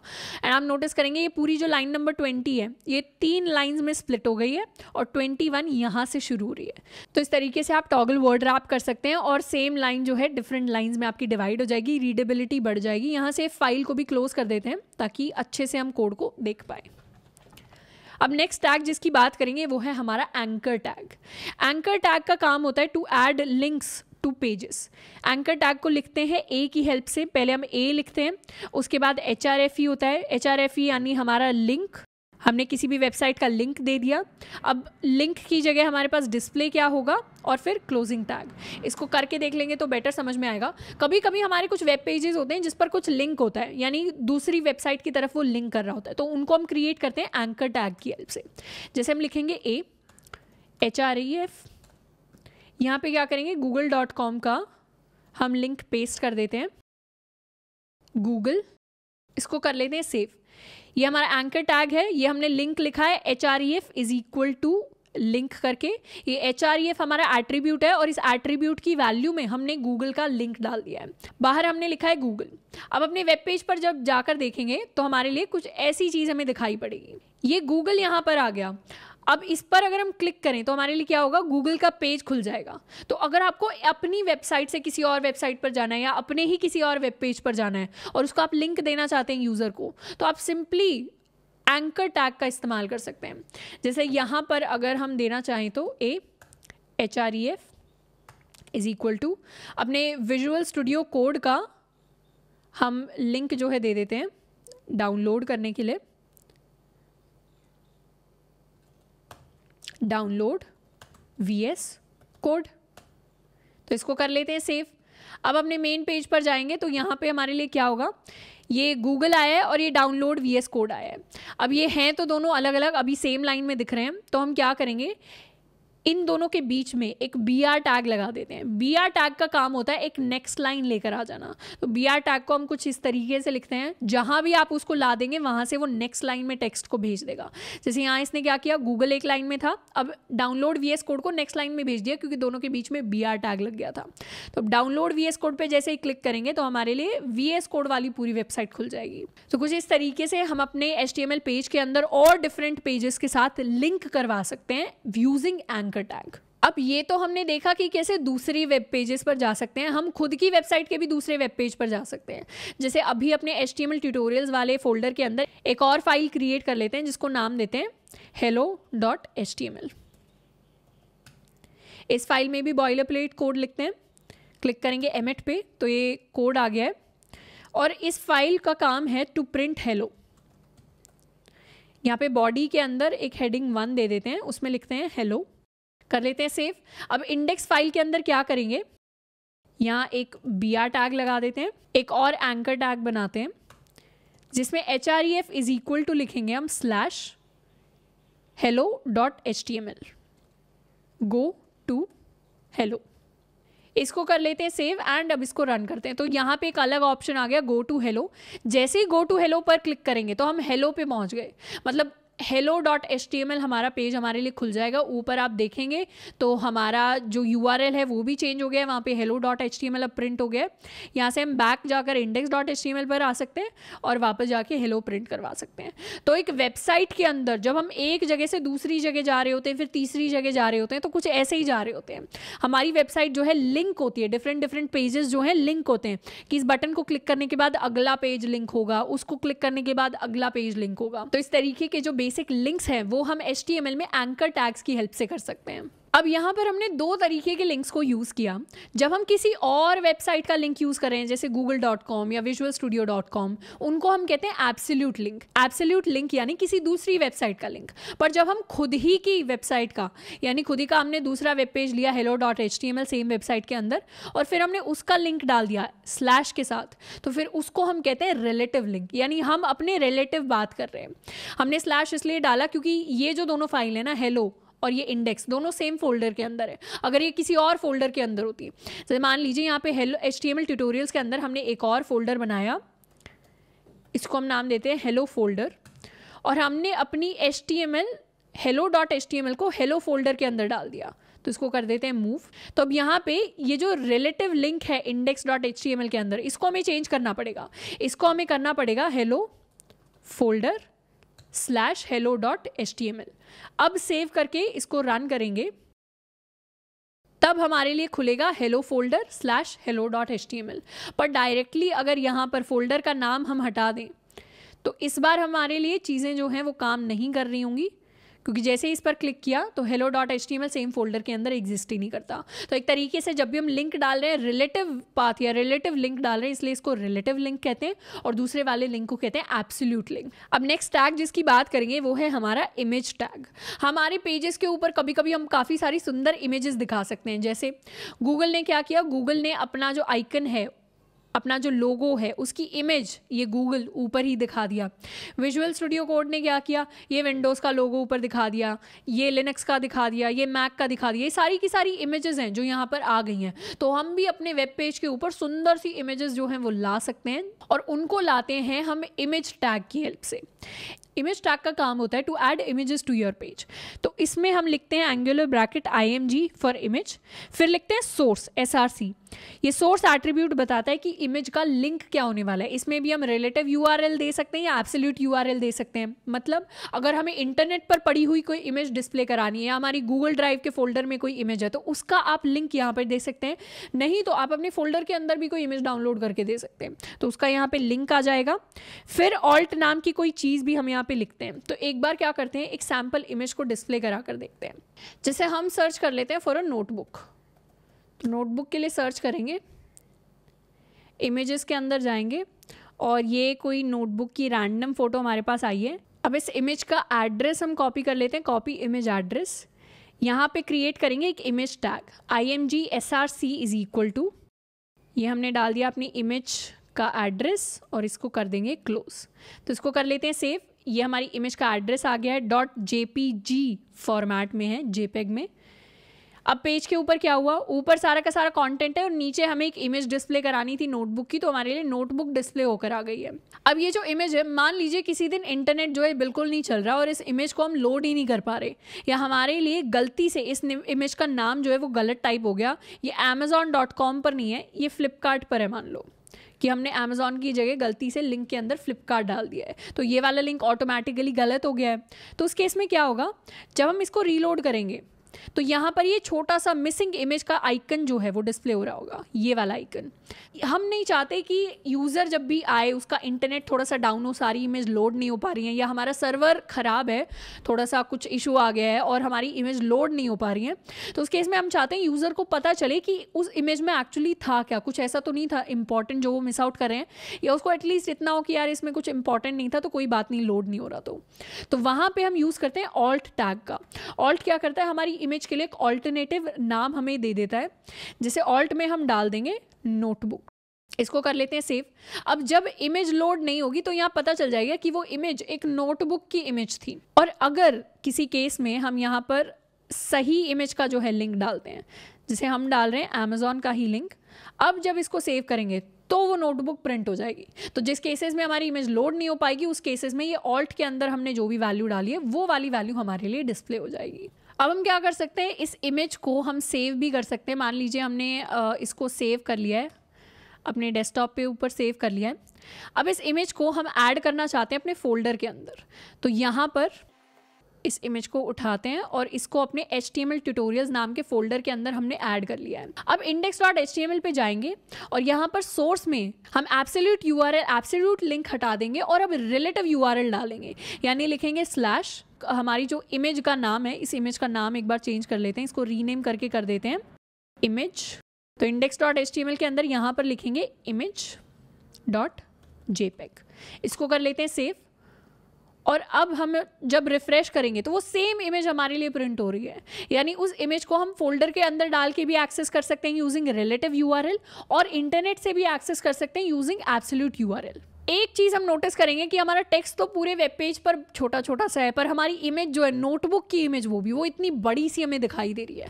तो इस केस में हम इस नोटबुक को ना रीसाइज कर सकते हैं, अपनी इमेज को रीसाइज कर सकते हैं। उसके लिए कौन सा एट्रीब्यूट यूज़ करेंगे, उसके लिए यूज़ कर सकते हैं हम हाइट एट्रीब्यूट जैसे अगर इसकी हाइट को हमें सेट करना हो तो मान लीजिए उसको हमने हंड्रेड एक बार सेट करके देख लेते हैं तो इस तरीके से उसकी हाइट जो है कम हो गई। अब इसमें हाइट और विथ दो एट्रीब्यूट्स होते हैं, हम इसकी विथ को भी बड़ा और छोटा कर सकते हैं। पर एडवाइजेबल ये होता है कि एक बार में हम एक ही एट्रीब्यूट को सेट करें। जैसे हाइट को सेट करें तो सिर्फ़ हाइट को सेट करें विथ को सेट करें तो सिर्फ़ विथ को सेट करें। वरना दोनों को एक साथ सेट करते हैं ना तो हमारा एस्पेक्ट रेशियो फ़ोटो का बिगड़ जाता है। जैसे अगर हम यहाँ पर विथ को भी सेट कर दें एज मान लीजिए इसको फिफ्टी सेट कर दें। तो नोटबुक अब यहाँ पे हल्की सी जो है अजीब दिख रही है, इसका डायमेंशंस ख़राब हो गए हैं। तो इस तरीके के डायमेंशन तब ख़राब होते हैं जब आप ज़बरदस्ती हाइट भी सेट करने की कोशिश करते हैं, ज़बरदस्ती विथ भी सेट करने की कोशिश करते हैं। तो इसीलिए बेस्ट केसेस में एडवाइजेबल होता है कि दोनों में से एक ही हम सेट करें और स्पेसिफिकली हाइट और विथ जो है ना, ये ऐसी चीज़ें जो सीएसएस के साथ बदलनी चाहिए। यानी जो भी हमारे कलर होते हैं चीज़ों के या जो भी उनका साइज़ होता है, वो सब एडवाइजेबल होता है कि आप सीएसएस की मदद से करें। एचटीएमएल में एट्रीब्यूट्स एग्जिस्ट करते हैं। पर हमेशा सीएसएस की तरफ़ जाना चाहिए तो इसलिए यहाँ पर हम हाइट विथ सेट नहीं कर रहे होंगे, उतना ही हम रहने देंगे। पर यहाँ पे हमने एग्ज़ाम्पल देख लिया कि सीएसएस कितना मैजिकली चीज़ों को ट्रांसफॉर्म कर देता है? मतलब आपको साइज़ अगर चेंज करना है या कितना ब्यूटिफाई आप करना चाहते हैं अपनी वेबसाइट को, अपने वेब पेज को, वो सारा का सारा काम आपको सीएसएस करके देती है। नेक्स्ट टैग जिसकी हम बात कर रहे होंगे, वो है हमारा B R tag B R tag को ऑलरेडी यूज़ कर चुके हैं और इसका काम होता है टू एड नेक्स्ट लाइन या line break to your page अब बी आर टैग को हमने यहाँ पे इस्तेमाल कर लिया था। तो जो जो अलग अलग एलिमेंट्स होते हैं, उनको नेक्स्ट लाइन नेक्स्ट लाइन में लाने के लिए हमें बी आर टैग का इस्तेमाल करना होता है। अब ये जो बी आर टैग होता है ना, ये एक एम्प्टी टैग होता है। मतलब इसके अंदर कोई भी एडिशनल एट्रीब्यूट्स नहीं आते, कोई भी एडिशनल कॉन्टेंट नहीं आता। ये खुद में अलग एक खाली सा टैग है जिसको आप जहाँ भी लिख देंगे, ये आपके लिए नेक्स्ट लाइन में कॉन्टेंट ले आएगा। नेक्स्ट बात करते हैं bold italic and underline tags की। अब हमने कंटेंट तो बहुत सारा लिख लिया पैराग्राफ्स में लिख लिया हेडिंग में लिख लिया, कहीं पर इमेज के अंदर लिख लिया। पर उस कंटेंट को हमें कभी कभी थोड़ा हाईलाइट करना पड़ता है, जैसे गूगल डॉक्स के अंदर या फिर माइक्रोसॉफ्ट वर्ड के अंदर। हम क्या करते हैं टेक्स्ट को पैराग्राफ के अंदर कुछ पार्ट बोल्ड में दिखाते हैं जो इंपॉर्टेंट होता है, कुछ को अंडरलाइन कर लेते हैं, कुछ को इटैलिक में दिखाते हैं। वैसे ही हमारे पास टैग्स होते हैं एच में, वो सारी फॉर्मेटिंग करने के लिए। तो it is use to highlight text in your page bold के लिए हम बी टैग का इस्तेमाल करते हैं, उसके बीच में जो भी लिख देंगे वो बोल्ड हो जाएगा। जैसे हम यहाँ पर लिखने वाले हैं बी एंड नीचे लिख देंगे बोल्ड तो इसको कर लेते हैं सेव और एक बार नीचे जाकर देखते हैं तो ये क्या हुआ? हमारा जो टेक्स्ट है, ये बोल्ड होकर आया है। यहाँ पर एक लाइन ब्रेक ऐड कर देते हैं। तो ये बोल्ड टेक्स्ट हमारे लिए आ गया है। अब सिमिलरली अगर हमें इटैलिक करना है तो उसके लिए आई टैग का यूज़ करते हैं।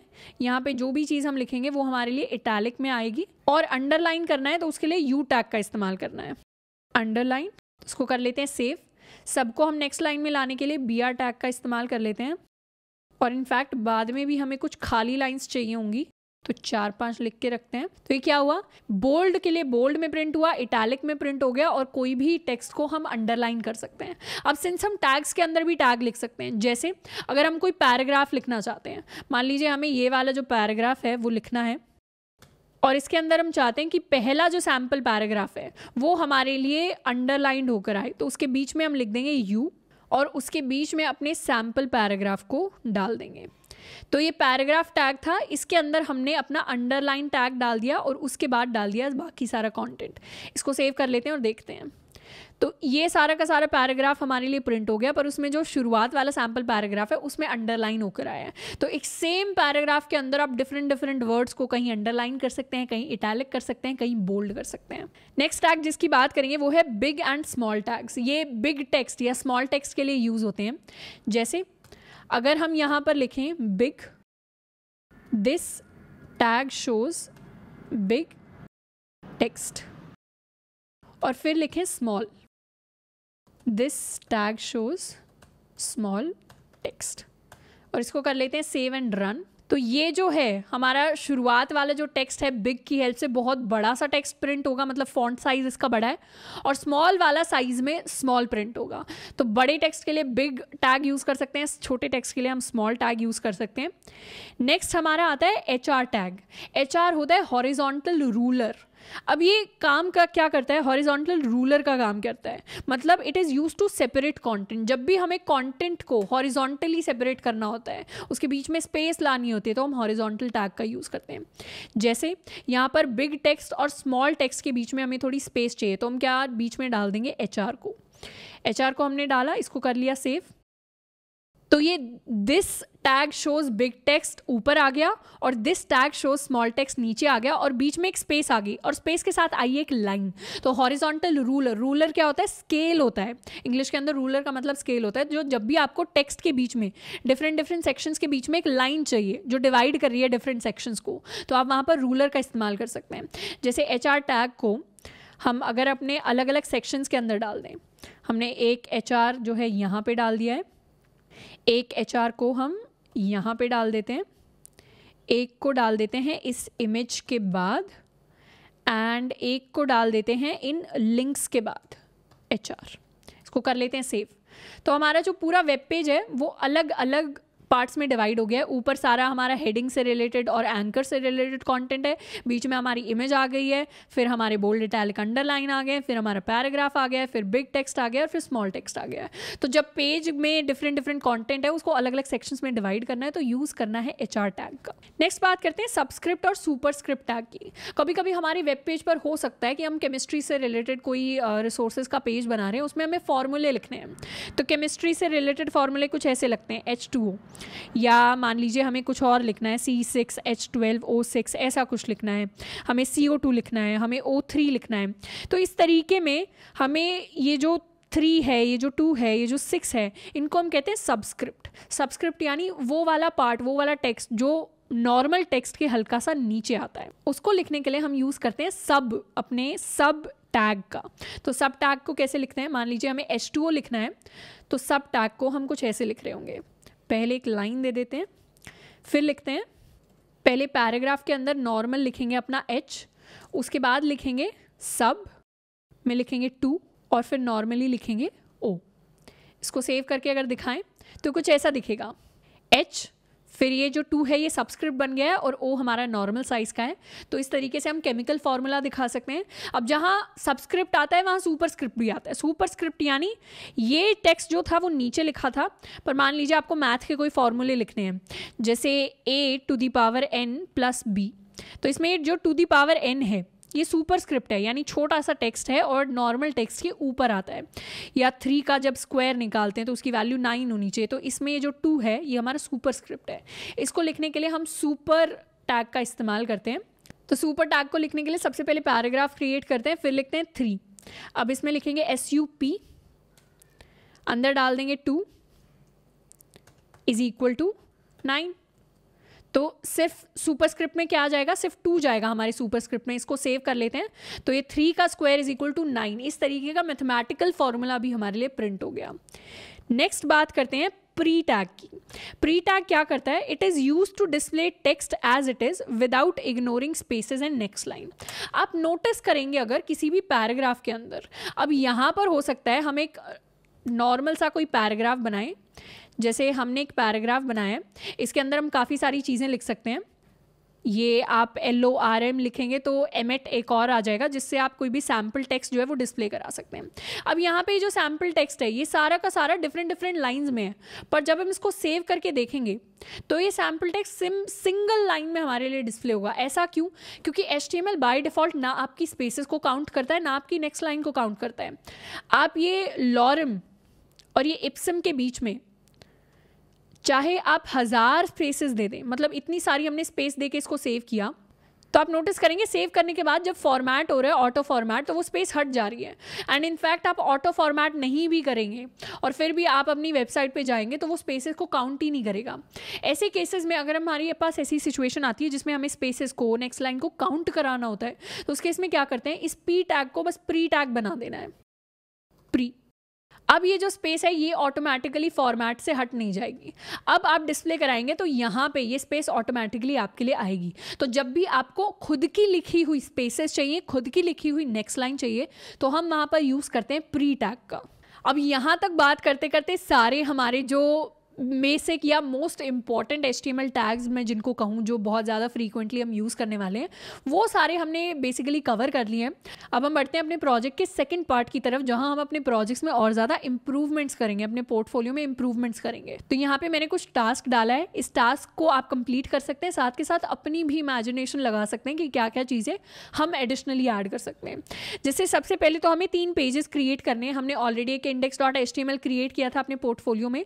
अब हमें अपने एजुकेशन के लिए अलग से पेज बनाना है एक्सपीरियंस के लिए अलग से पेज बनाना है और प्रोजेक्ट्स के लिए अलग से पेज बनाना है। और इन सारे पेजेस का जो लिंक है, वो हमारे होम पेज पर होना चाहिए। तो ये फंक्शनैलिटी अपने पोर्टफोलियो में हम एक्स्ट्रा ऐड करने वाले कि होम पेज से आप किसी भी बटन पर क्लिक करके अपनी एजुकेशन भी देख पाएँ, आपका एक्सपीरियंस भी देख पाए कोई भी आकर और आपके प्रोजेक्ट्स भी देख पाए। हो सकता है आप कोई और रेलिवेंट इन्फॉर्मेशन जो है दिखाना चाह रहे हो, जैसे आपने कोई अचीवमेंट्स जो हैं ली हैं या आपकी हॉबीज़ आप बताना चाह रहे हैं तो उसके लिए भी आप एडिशनल पेजेस पेजेस बना सकते हैं। तो आई होप कि ये चीज़ आप कर रहे होंगे। एंकर टैग का हमें इस्तेमाल करना है। उन पेजेस के अंदर इन्फॉर्मेशन भी डालनी है। तो हेडिंग्स का यूज़ करना है। प्रॉपर हेडिंग्स अपने स्मॉल टेक्स्ट बिग टेक्स्ट का हम यूज़ कर सकते हैं। पैराग्राफ का यूज़ कर सकते हैं। सुपर स्क्रिप्ट सबस्क्रिप्ट बना सकते हैं। जब आप परसेंटेज दिखा रहे होंगे या सीजीपीए बता रहे होंगे तो उसमें उन चीज़ों का इस्तेमाल हो सकता है। तो आई होप कि आप यहाँ पे वीडियो को पॉज करेंगे। प्रोजेक्ट का सेकेंड पार्ट कंप्लीट करेंगे ताकि मेमोरी के अंदर जो भी टैग्स हमने इंपॉर्टेंट डिस्कस किए हैं अभी, वो सारे के सारे बैठ जाए। जब भी डाउट आए, अपने आप नोट्स कभी भी खोल सकते हैं, उसके अंदर चीज़ें रेफरेंस कर सकते हैं एंड इसके बाद बढ़ेंगे हम अपने लेवल थ्री की तरफ़। अब हम शुरुआत करने वाले हैं अपने लेवल थ्री की, और यहाँ तक हमने काफ़ी सारे जो इंपॉर्टेंट टैग्स हैं वो कवर कर लिए हैं। चैप्टर थ्री के अंदर, अपने लेवल थ्री के अंदर हम डिस्कस करेंगे लेआउट्स एच के अंदर क्या होते हैं। अब कभी कभी ऐसा होता है कि हमें ऐसे टैग्स यूज़ करने पड़ते हैं जिसका इफ़ेक्ट हमें अपने वेब पेज के ऊपर तो दिखाई नहीं देता, पर इंटरनली हमारा वेब पेज कैसे काम कर रहा है मतलब एस रैंकिंग्स में हमारा वेब पेज ऊपर जा रहा है या नीचे जा रहा है, उस पर वो चीज़ें काफ़ी हैवी इम्पैक्ट डाल सकती हैं।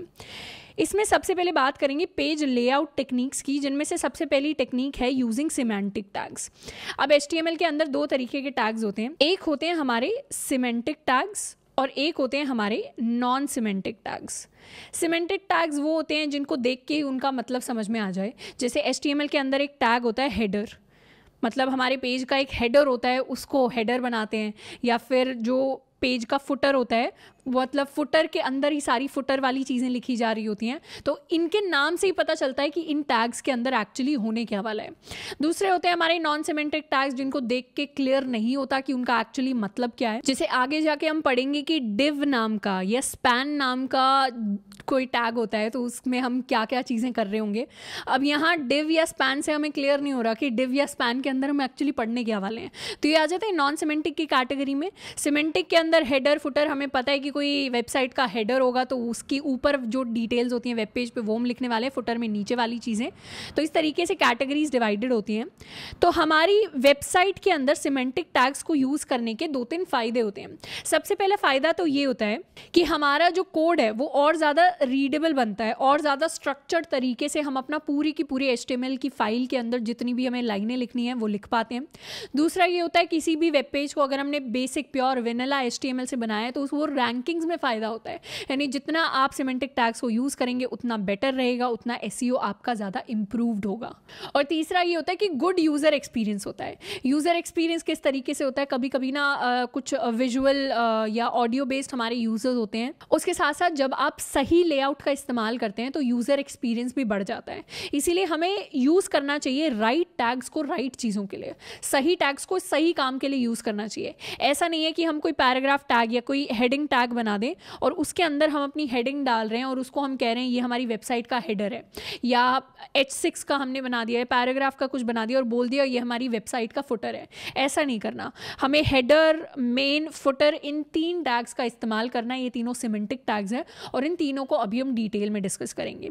तो सबसे पहले डिस्कस करते हैं अपने हेडर टैग को। तो किसी भी वेबसाइट के हेडर को बनाने के लिए, हमारे पास अगर कोई नॉर्मल हमारा एच पेज है तो बॉडी के अंदर क्या करेंगे? हेड के बाद स्पेस दे देते हैं। बॉडी के अंदर जाकर सबसे पहले क्या करेंगे? अपना हेडर बनाएँगे। हेडर के अंदर हम काफ़ी सारी चीज़ें लिख सकते हैं। जैसे यहाँ पे अपना कोई मेन्यू दे सकते हैं। जैसे पोर्टफोलियो का आपने पेज बनाया होगा तो हेडर के ऊपर आपने ऑप्शंस दिए होंगे कि आप यहाँ पे या तो एक्सपीरियंसेस रखना चाह रहे हैं, या फिर रखना चाह रहे हैं अपने प्रोजेक्ट्स को, या इसे हम एजुकेशन कर देते हैं। अब इसको सेव कर लेते हैं, एक बार रन कर लेते हैं लाइव सर्वर को। तो ये एजुकेशन आ गया, ये प्रोजेक्ट्स आ गए। अब आप इस पूरे वेब पेज को अगर हम इंस्पेक्ट करने निकले तो जब आप एलिमेंट को इंस्पेक्ट करेंगे, देखेंगे कि ये एजुकेशन वाला हमारा पार्ट है, ये प्रोजेक्ट्स वाला पार्ट है और ये दोनों को, दोनों कंबाइंड होके हमारे हेडर के अंदर आ रहे हैं। मतलब इसको एक्सपैंड कर सकते हैं। हमारे हेडर के अंदर ये दोनों चीज़ें आ रही हैं। तो इंस्पेक्ट करते हैं। हमें तो नहीं दिखता विजुअली हमें नहीं दिख पाता एज अ यूज़र की वेबसाइट बिल्ड कैसे हुई है। लेकिन जब गूगल आपके कोड को पढ़ता है वेब पेज को रैंक करने के लिए चीज़ें तो वो उसको क्लियरली दिखता है कि आपने किस तरीके से लेआउट बनाया अपनी वेबसाइट का। जैसे हमने हेडर बनाया, अब हम चाहते हैं ये दोनों जो चीज़ें हैं, वो सेम लाइन पर आ जाएँ तो क्या करते हैं, अभी इसको पैराग्राफ की फॉर्म में लिख देते हैं। इसको पैराग्राफ टैग बना देते हैं पी एंड और इनको डाल देते हैं प्री के अंदर, ताकि हम जो है थोड़ी सी यहाँ पे स्पेस दे पाएँ। हम कुछ नहीं कर रहे, हम यहाँ पे थोड़ी सी बेसिक फॉर्मेटिंग करते हैं। फॉर्मेटिंग का ये मतलब है कि हम यहाँ थोड़ी सी स्पेस देंगे और यहाँ डाल देंगे अपने प्रोजेक्ट्स को। इसको कर लिया सेव और हमारा पेज अब कुछ ऐसा दिखेगा जिसमें ऊपर हेडर है, वहाँ एजुकेशन भी है, वहाँ प्रोजेक्ट्स भी है। तो आप इस पर भी क्लिक करके जा सकते हैं, इस पर भी क्लिक करके जा सकते हैं इंडिविजुअल पेजेस के अंदर। नेक्स्ट हम बना सकते हैं यहाँ पे अपना एक फुटर तो वेबसाइट का बीच वाला जो पार्ट है, वो तो मेन के अंदर आता है। मतलब मेन कॉन्टेंट जो भी होने वाला है। और यहाँ पे फुटर के अंदर हम एडिशनल जो अपनी इन्फॉर्मेशन देते हैं यूजुअली फुटर के अंदर दिया जाता है एच थ्री का इस्तेमाल कर लेते हैं। Contact me at hello at the rate A C dot com इसको कर लेते हैं सेव तो अब ये जो है हमारा हेडर पार्ट है, ये हमारा फुटर पार्ट इसको थोड़ा सा और छोटा कर लेते हैं एच फाइव पर हम आ जाते हैं। तो ये हेडर है, ये फुटर है, और बीच में जो चीज़ें हैं, वो सारा हमारा मेन कंटेंट होने वाला है। तो इस तरीके से हमारे वेबसाइट का जो लेआउट है, वो डिज़ाइन होगा। अगर मेन की बात करें तो मेन टैग के अंदर हम तीन मेजर टैग्स को डिस्कस करे होंगे, जिसमें से सबसे पहला है हमारा सेक्शन टैग सेक्शन टैग क्या करता है? It is use for a section on your page यानी हमारे पेज को अगर हमें सेक्शंस में डिवाइड करना है, कि यहाँ पर हम अपने एक्सपीरियंसेस लिखने वाले हैं, यहाँ पर हम अपनी एजुकेशन लिखने वाले हैं, यहाँ पर हम अपना प्रोजेक्ट लिखने वाले हैं तो उस सेक्शंस को बनाने के लिए हम सेक्शन टैग का इस्तेमाल करते हैं. जैसे ऊपर हेडर के अंदर हम यहाँ लिख देते हैं माई पोर्टफोलियो ये तो बन जाएगा हमारी मेजर हेडिंग आपको ऑब्वियसली अपना जो पोर्टफोलियो है, वो इससे बेटर बनाना है, जैसा हम बना रहे हैं। यहाँ सिर्फ़ एग्ज़ाम्पल के लिए मैं काफ़ी सारे आपको टैग्स दिखा रही हूँ किस किस तरीके से इस्तेमाल करना है। सेम पेज के ऊपर, मेरी तरह आपको इन्फॉर्मेशन नहीं डालनी है, और सुंदर उसको बनाने की कोशिश करनी है। तो मेन के अंदर क्या करना है? मेन के अंदर हम सबसे पहले बनाएँगे सेक्शन इस सेक्शन के अंदर हम लिखेंगे अपनी एजुकेशन के बारे में। एजुकेशन में हम लिख सकते हैं N S I T C O लिख दिया। उसके बाद अपने स्कूल का नाम लिख सकते हैं। स्कूल का नाम हमने लिख दिया। इस तरीके से बेसिक चीज़ें लिख सकते हैं। तो ये हमारा पहला सेक्शन हो गया। उसके बाद हम अपने एक्सपीरियंसेस का सेक्शन लिखने जाएँ। एक्सपीरियंसेस के सेक्शन में हम कुछ कुछ चीज़ें लिख सकते हैं। एक्सपीरियंसेस यहाँ पे हम चीज़ें लिख सकते हैं। कुछ कुछ चीज़ें हमने लिख दी हैं। तो ये हमने एक और सेक्शन बना लिया तो ये पहला सेक्शन हो गया है हमारा और ये हो गया हमारा दूसरा सेक्शन अब जब इसको हम पेज के ऊपर देखेंगे तो हमें तो नॉर्मल सिंपल लाइन की तरह लगेगा कि हम पैराग्राफ के अंदर भी लिख सकते थे, पर एक्चुअल चीज़ें जो हैं, हमें तब पता चलेगी जब हम इस पेज को करेंगे इंस्पेक्ट इंस्पेक्ट करके हमें पता चलेगा कि ये जो पूरा का पूरी चीज़ है, ये एक सिंगल सेक्शन के अंदर आई है ये एक सिंगल सेक्शन है, ये एक सिंगल सेक्शन है। तो इस तरीके से अपने कोड को डिवाइड करना ज़रूरी है, ताकि सिमेंटिकली पता चल रहा हो कि इस पेज के अंदर कौन सा पार्ट किस चीज़ को रिप्रेजेंट करता है। नेक्स्ट टैग जिसकी हम बात करेंगे, वो है आर्टिकल अब पेज के ऊपर हम काफ़ी सारे आर्टिकल्स जो हैं, उनको लिख सकते हैं। जैसे अगर हमें कुछ लिखना है अपने बारे में, मान लीजिए मेन के अंदर हम कुछ लिखना चाह रहे हैं आर्टिकल की फॉर्म में माई एक्सपीरियंसेस या माई स्टोरी अगर हम बताना चाह रहे हैं तो माई स्टोरी करके अपने पोर्टफोलियो के ऊपर बता सकते हैं, जिसमें हम कहाँ से बिलोंग करते हैं, या हाँ टेक में हमारा इंटरेस्ट क्यों है, क्यों हम कोडिंग सीख रहे हैं, क्या हमारे गोल्स हैं, क्या हम चेंज करना चाहते हैं, क्या हम, जो रेवोल्यूशन है वो लाना चाहते हैं, जिस भी फ़ील्ड में हमारा इंटरेस्ट है, उस इंटरेस्ट की तरफ़। तो वो सारी चीज़ें यहाँ पे लिख सकते हैं तो ये आर्टिकल टैग के अंदर आ जाएगा। और तीसरा टैग जिसकी हम बात करेंगे, वो है हमारा असाइड टैग अब ये जो असाइड टैग का काम होता है असाइड टैग का काम होता है for content aside main content अब हमारी कई कई वेबसाइट होती हैं जिनके ऊपर एड्स दिख रही होती हैं, जिनके ऊपर एडिशनल इन्फॉर्मेशन दिख रही होती है, जो एक्चुअली हमारे काम की नहीं है मतलब हमारे कॉन्टेंट के काम की नहीं है, पर हमें दिखानी पड़ रही है। जैसे कई लोग वेबसाइट्स बनाते हैं, उस पर गूगल एड्स चला रहे होते हैं। अब जैसे एड तरीके का कंटेंट होता है, ये सारा हमारे मेन कंटेंट का पार्ट नहीं है। जैसे आपने कोई वेबसाइट देखी, उसके अंदर कुछ कुछ एड्स हमारे पास चल रही होंगी, पर मेन कंटेंट उसके अंदर कुछ और ही चल रहा है। तो आप नहीं चाहते कि गूगल आपकी वेबसाइट को इस तरीके से रीड करे कि उसके अंदर ये एड्स वाला कॉन्टेंट है। आप चाहते हैं गूगल सिर्फ़ आपके मेन कॉन्टेंट को जो है, वो रीड कर रहा हो। तो इस तरीके से आपको बताना पड़ता है एच के अंदर कि कौन सा पार्ट आपके मेन कॉन्टेंट का पार्ट नहीं है, उसके लिए हम यूज़ करते हैं अपना असाइड टैग तो अगर हमें कोई ऐड चलानी है, मान लीजिए हमें मेन सेक्शन में एंड में कोई ऐड चलानी है तो हम लिखेंगे असाइड और इसके अंदर हम डाल देंगे दिस इज़ एन एड तो ये जो दिस इज़ एन एड वाला पार्ट है, ये हमारे असाइड टैग के अंदर आ गया। इसको हमारे एस e जो है वो डिटेक्ट नहीं करेगा, उससे फ़र्क नहीं पड़ रहा होगा। तो इस तरीके के कुछ कुछ चीज़ें हम इम्प्लीमेंट कर सकते हैं। लॉजिकली जब भी हम किसी भी वेब पेज को बिल्ड कर रहे हैं। नेक्स्ट चीज़ जिसकी बात करेंगे, वो है हमारा एंकर टैग अब एंकर टैग में हमने बात की थी कि हम ए लिखते हैं, उसके बाद अपना लिंक लिखते हैं, वो रिलेटिव हो सकता है एब्सोल्यूट हो सकता है तो हम किसी भी लिंक की तरफ़ रीडायरेक्ट कर सकते हैं अपने यूज़र को. पर एंकर टैग के अंदर एक और एट्रीब्यूट होता है, जिसको नाम देते हैं हम टारगेट टारगेट लिखने के बाद अगर आप स्लैश मेन डाल दें उसकी वैल्यू में। तो क्या होता है, अभी तक तो हम लिंक पर क्लिक करते थे तो सेम पेज खुलता था। अब न्यू टैब में हमारी चीज़ें खुल रही होंगी। जैसे फॉर एग्जांपल अगर हम यहाँ पर जाना चाह रहे हैं, हमने एक एंकर टैग बनाया है H R E F is equal to यहाँ पे हम ले लेते हैं गूगल डॉट कॉम का एग्ज़ाम्पल अब अगर हम इसको नॉर्मली सेव करें और गूगल पर क्लिक करें तो हमारे लिए सेम पेज के अंदर सेम टैब के अंदर हमारा गूगल डॉट कॉम खुल जाएगा। लेकिन अगर हम यहाँ पर लिख दें, एक और attribute target is equal to main इसको सेव करके अगर अब रन करें तो गूगल पर क्लिक करेंगे तो नेक्स्ट टैब के अंदर गूगल डॉट कॉम खुल रहा है और ये वाला टैब हमारा इंटैक्ट है। तो जब भी लिंक को नेक्स्ट टैब में खुलवाना हो तो उसके लिए हम यूज़ करते हैं टारगेट मेन का। इसके अलावा हम अपनी पिक्चर्स को क्लिकेबल बना सकते हैं। कैसे क्लिकेबल बनाना है? हम जो भी अपना टेक्स्ट इस्तेमाल करते हैं, जिसके ऊपर क्लिक करने से लिंक खुल जाता है, उस टेक्स्ट की जगह बस हमें एक इमेज इंसर्ट कर देनी है। जैसे यहाँ पर हम क्या करेंगे? गूगल की कोई इमेज डाउनलोड करेंगे। गूगल लोगो डाउनलोड कर लेते हैं। इमेजेस में जाकर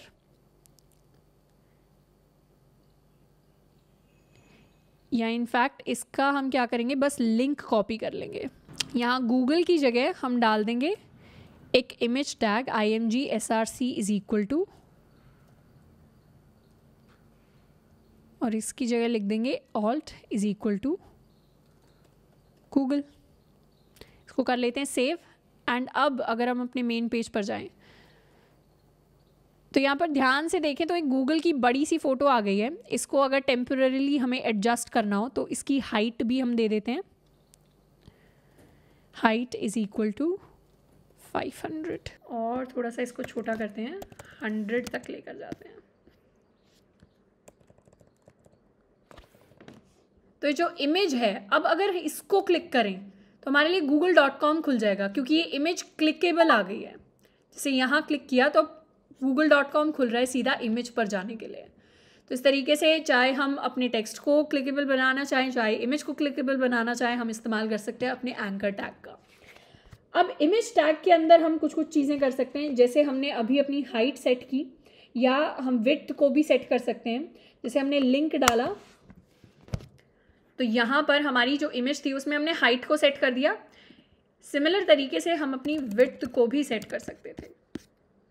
विथ को सेट करते तो कुछ इस तरीके की हमारी इमेज होती। बिना सेट किए अगर इसको हम फिफ्टी कर दें तो ये और छोटी हो जाएगी विथ वाइज एंड विथ को सेट करेंगे तो हाइट अपने आप उसी एस्पेक्ट रेशियो को मेंटेन करने के लिए सेट हो जाएगी। अगर सिर्फ़ हाइट को सेट कर रहे हैं तो विथ भी अपने आप चेंज हो जाएगी एस्पेक्ट रेशियो को मेंटेन करने के लिए। नेक्स्ट बात करने वाले हम अपने डिव टैग की। अब दो टैग्स मेजर टैग्स की हम यहाँ पे बात करेंगे इस सेक्शन में डिव और स्पैन ये दोनों जो हैं एच के काफ़ी इंपॉर्टेंट टैग्स हैं जिनका बहुत बार यूज़ होता है.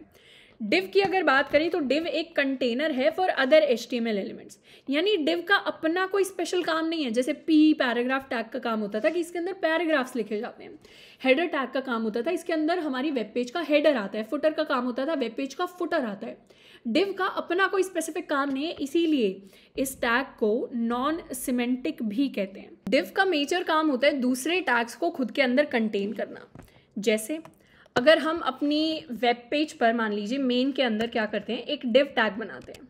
यहाँ पे हमने बनाया डिव तो इसका कुछ काम नहीं है मतलब ये कुछ चेंज लेकर नहीं आएगा, ये बस एक डिव की तरह खड़ा रहेगा वहाँ पे। अब ये एक ब्लॉक एलिमेंट होता है। तो अब अगर हम इसको इंस्पेक्ट करें अपने पेज को तो यहाँ पर कोड के अंदर जाकर हमें दिख रहा है लेफ़्ट साइड में कि डिव है, पर एक्चुअली डिव की height by default zero set हुई है। ये यहाँ पे one zero three seven into यहाँ पर डिव के ऊपर जाएँ अगर तो one zero three seven into zero दिखा रहा है तो यहाँ पे ज़ीरो जो है, वो हमारे डिव की हाइट है। बाय डिफ़ॉल्ट डिव की हाइट ज़ीरो सेट होती है, जब उसके अंदर कोई एलिमेंट नहीं होता। लेकिन अगर उसके अंदर हम डाल दें, एक पैराग्राफ डाल देते हैं हेलो वर्ल्ड लिखकर। तो हेलो वर्ल्ड लिखकर ये पैराग्राफ जैसे ही हमने डिव के अंदर डाला तो अब अगर डिव पर स्क्रॉल करें तो ये आ गया है डिव यहाँ पर। अब डिव जो होता है, वो एक ब्लॉक एलिमेंट होता है, यानी वो हमारी स्क्रीन पर फुल विथ लेता है। ब्लॉक एलिमेंट्स वो होते हैं जो चाहे उनको जगह कितनी भी चाहिए हो, पर वो पूरी की पूरी विथ यानी पूरी स्क्रीन घेर कर खड़े हो जाते हैं।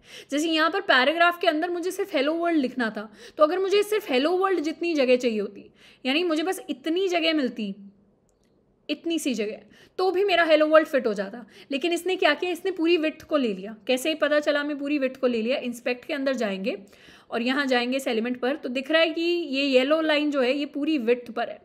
तो इसने पूरी विथ को ले लिया। जो भी ब्लॉक एलिमेंट्स होते हैं एचटीएमएल के अंदर, वो पूरी विथ को ले लेते हैं और दूसरे टाइप के एलिमेंट्स होते हैं हमारे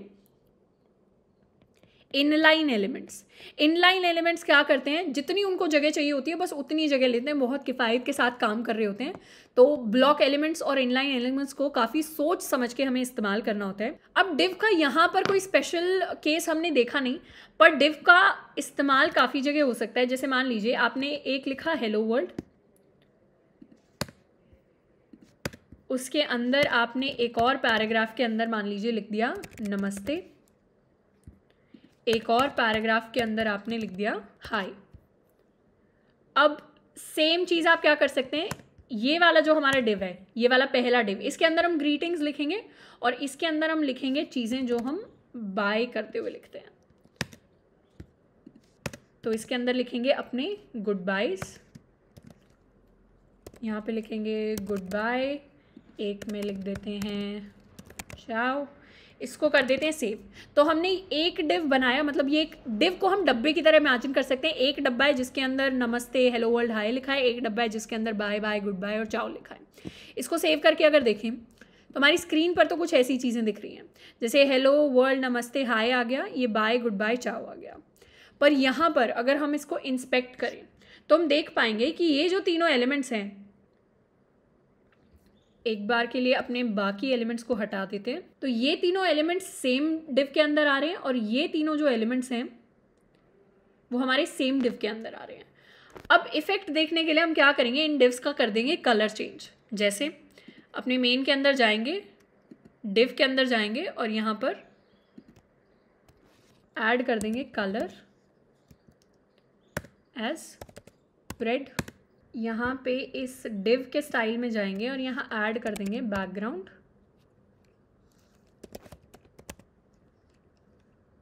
colour is equal to red तो ये क्या हुआ? इसने सिर्फ़ एक जो हमारा डिव था, उसको बैकग्राउंड कलर रेड दे दिया, जिसके अंदर हमारी सारी की सारी ग्रीटिंग्स जो हैं वो लिखी हुई थी. और जो सेकेंड डिव था, उसको हम दे देते हैं बैकग्राउंड कलर एज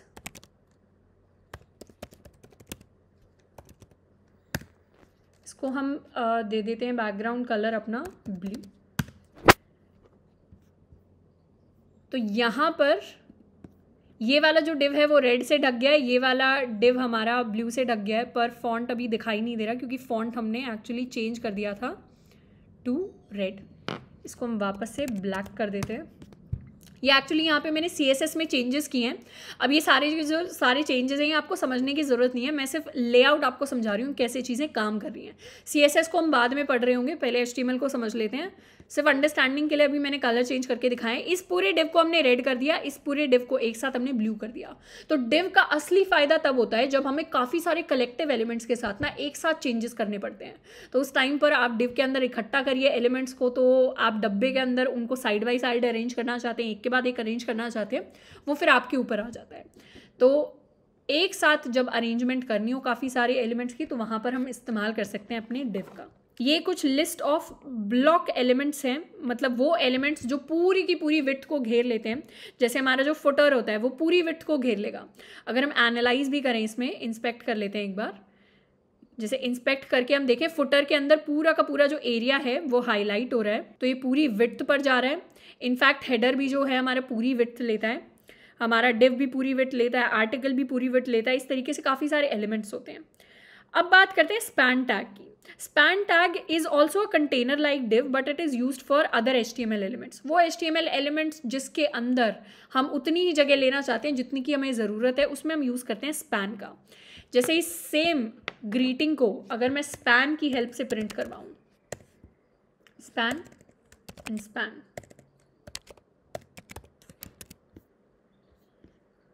तो अब एनालाइज करूँ। बाय डिफ़ॉल्ट मेरा जो पैराग्राफ है वहाँ से अगर हटाकर मुझे प्रिंट करना है सिर्फ़ बाय को कर लिया सेव अब अगर इसको एनालाइज करें तो ये जो बाय है, इसमें आप देखेंगे ब्लू पार्ट जो हाईलाइट हो रहा है, वो सिर्फ़ बाय वाला पार्ट है। यानी इसमें उतनी ही जगह घेरी जा रही है जितनी जगह ज़रूरी है उस एलिमेंट को स्पेसिंग के लिए। तो स्पैन जो एलिमेंट होता है, वो हमारा इनलाइन एलिमेंट होता है। मतलब it takes its width as per size जितना साइज़ है, उतनी ही जगह वो घेरेगा। इसके अंदर भी अगर हम स्पैन का कलर अब चेंज करना चाहें तो मेन के अंदर जाएँगे स्पैन यहाँ से कर लेंगे। Background colour is equal to pink तो ये यहाँ पे पिंक कलर में हाईलाइटेड हमें दिख जाएगा कि ये हमारा एक स्पैन एलिमेंट है। अब स्पैन एक इनलाइन एलिमेंट होता है और यहाँ पे बहुत सारे ये इनलाइन एलिमेंट्स की हमने आपको लिस्ट दे दी है। इसमें से देखें तो हमारा जो एंकर टैग होता है, वो भी एक इनलाइन एलिमेंट होता है। जो हमारा बी आर टैग होता है, वो भी एक इनलाइन एलिमेंट होता है। हमारा इमेज एक इनलाइन एलिमेंट होता है, जिसको इटैलिक में आप लिखते हैं, जिसको आप बोल्ड में लिखते हैं, या हमारे जो सबस्क्रिप्ट सुपर स्क्रिप्ट होते हैं, ये सारे हमारे इनलाइन टैग्स होते हैं। तो ये टैग्स उतनी ही जगह घेरते हैं जितनी इनको ज़रूरत है। तो ये सारे हमने काफ़ी सारे जो टैग्स हैं उनको रिविजिट किया। लेआउट कैसे प्रॉपरली बनाना है अपनी वेबसाइट का। डिव के अंदर चीज़ों को डालना है हेडर में डालना है मेन में डालना है फुटर में डालना है। उस तरीके से अपनी वेबसाइट को हमें अच्छे से डिज़ाइन करना है। अब इसमें प्रोजेक्ट वन के अंदर एक और टास्क आप लोगों के लिए ऐड हो गया है कि हमें सबसे पहले तो होम पेज पर अपनी एक इमेज लगानी है। अपनी एक इमेज लगानी है, उस पर हो सकता है आप इस इमेज को क्लिकेबल बना दें। क्लिकेबल किस तरीके से? उस लिंक पर क्लिक करते हैं या तो आपकी इंस्टाग्राम प्रोफ़ाइल खुल जाती है या फिर आपकी फेसबुक प्रोफ़ाइल खुल जाती है, उस तरीके से डिज़ाइन कर सकते हैं। या आपकी गिटहब या लिंकड प्रोफ़ाइल खुल जाती है इनके लिंक्स आपको ऐड करने पोर्टफोलियो में, साथ के साथ इम्प्रूव योर प्रोजेक्ट लेआउट यानी अभी तक जितना प्रोजेक्ट लिखा था, उसको हेडर में फुटर में या अपने मेन सेक्शन में डिवाइड करना है डिफरेंट डिफरेंट सेक्शंस में। और उससे हमारी जो वेबसाइट है, वो और ज़्यादा इम्प्रूव हो रही होगी। यहाँ तक हमने ख़त्म कर लिया अपना लेवल थ्री और नेक्स्ट हम बात करेंगे, शुरुआत करेंगे अपने लेवल फोर की जो है ऑल्सो लेवल प्रो अब हम आगे अपने फाइनल लेवल यानी अपने प्रो लेवल पर, और इस चैप्टर के अंदर, इस लेवल के अंदर हम पढ़ने वाले हैं about list about forms and about tables अब कभी कभी ऐसी सिचुएशन आती है जब हमें कोई लिस्ट ऑफ़ चीज़ें अपने पेज पर डिस्प्ले करनी पड़ती है। जैसे, अगर हमने कोई पोर्टफोलियो के अंदर एजुकेशन का पेज बनाया है तो उसमें हमें हमें टेंथ के मार्क्स अपने ट्वेल्थ के मार्क्स अपने कॉलेज के मार्क्स अगर मास्टर्स किया है तो वो सारी इन्फॉर्मेशन हम चाहते हैं अगर लिस्ट की फॉर्म में डिस्प्ले कराना। या फिर अगर हमने तीन चार प्रोजेक्ट्स बनाए तो उनको हम लिस्ट की फॉर्म में डिस्प्ले कराना चाहते हैं। तो एचटीएमएल के अंदर लिस्ट की फॉर्म में चीज़ें डिस्प्ले कराने के लिए भी हमारे पास कुछ टैग्स होते हैं। तो लिस्ट जो होती है सबसे पहले, वो अनऑर्डर्ड और ऑर्डर्ड दो टाइप की लिस्ट एचटीएमएल के अंदर होती है। अनऑर्डर्ड लिस्ट का मतलब है कि सिर्फ़ बुलेट पॉइंट्स की फॉर्म में हमारा जो डेटा है, वो हमारे पास प्रिंट होकर आ रहा होगा। और ऑर्डर्ड यानी जिसे हमने वन टू थ्री फोर कोई ऑर्डर दे दिया, कोई सीक्वेंस दे दिया जिसकी फॉर्म में वो डिस्प्ले हो रहे हैं। इसमें हमारे रोमन न्यूमरल्स भी हो सकते हैं one two three and four या फिर हमारे पास ए बी सी डी हम इस तरीके से भी डिस्प्ले करा सकते हैं तो ये होती है हमारी ऑर्डर्ड लिस्ट एंड ये है हमारी अनऑर्डर्ड लिस्ट अब सबसे पहले बात करेंगे अनऑर्डर्ड लिस्ट की अनऑर्डर्ड लिस्ट को क्रिएट करने के लिए हमसे सबसे पहले एक टैग बनाना पड़ता है जिसमें हम लिखते हैं U L U L stand for unordered list अब अनऑर्डर्ड लिस्ट को बनाने के लिए हमने टैग इस्तेमाल कर लिया उसके अंदर लिस्ट का हर एक आइटम को हम डिस्प्ले कराते हैं एल आई की हेल्प से यहाँ पे एल आई स्टैंड करता है फॉर लिस्ट आइटम तो इस तरीके से एक लिस्ट बनाते हैं अपने मेन के अंदर हम कंटेंट लिख रहे होंगे यहाँ पर बनाएँगे यू एल से एक अनऑर्डर्ड लिस्ट जिसके अंदर लिस्ट का पहला आइटम आ जाएगा एप्पल हम एक फ्रूट्स की लिस्ट यहाँ पे बनाने वाले हैं. दूसरा आइटम मान लीजिए हमारे पास है मैंगो तीसरा आइटम हमारे पास आ गया है लीची.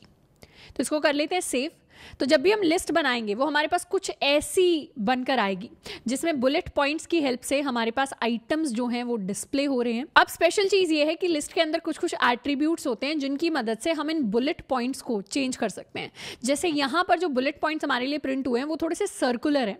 अगर हम चाहते हैं कि हम डिस्क शेप के उनको बनाना चाहते हैं तो वो चेंज करने के लिए हम अपने सीएसएस के अंदर चाहें तो इन बुलेट्स को हम स्क्वायर शेप में कर सकते हैं, या फिर इनको हम ट्राइंगल शेप में कर सकते हैं डिस्क शेप में कर सकते हैं।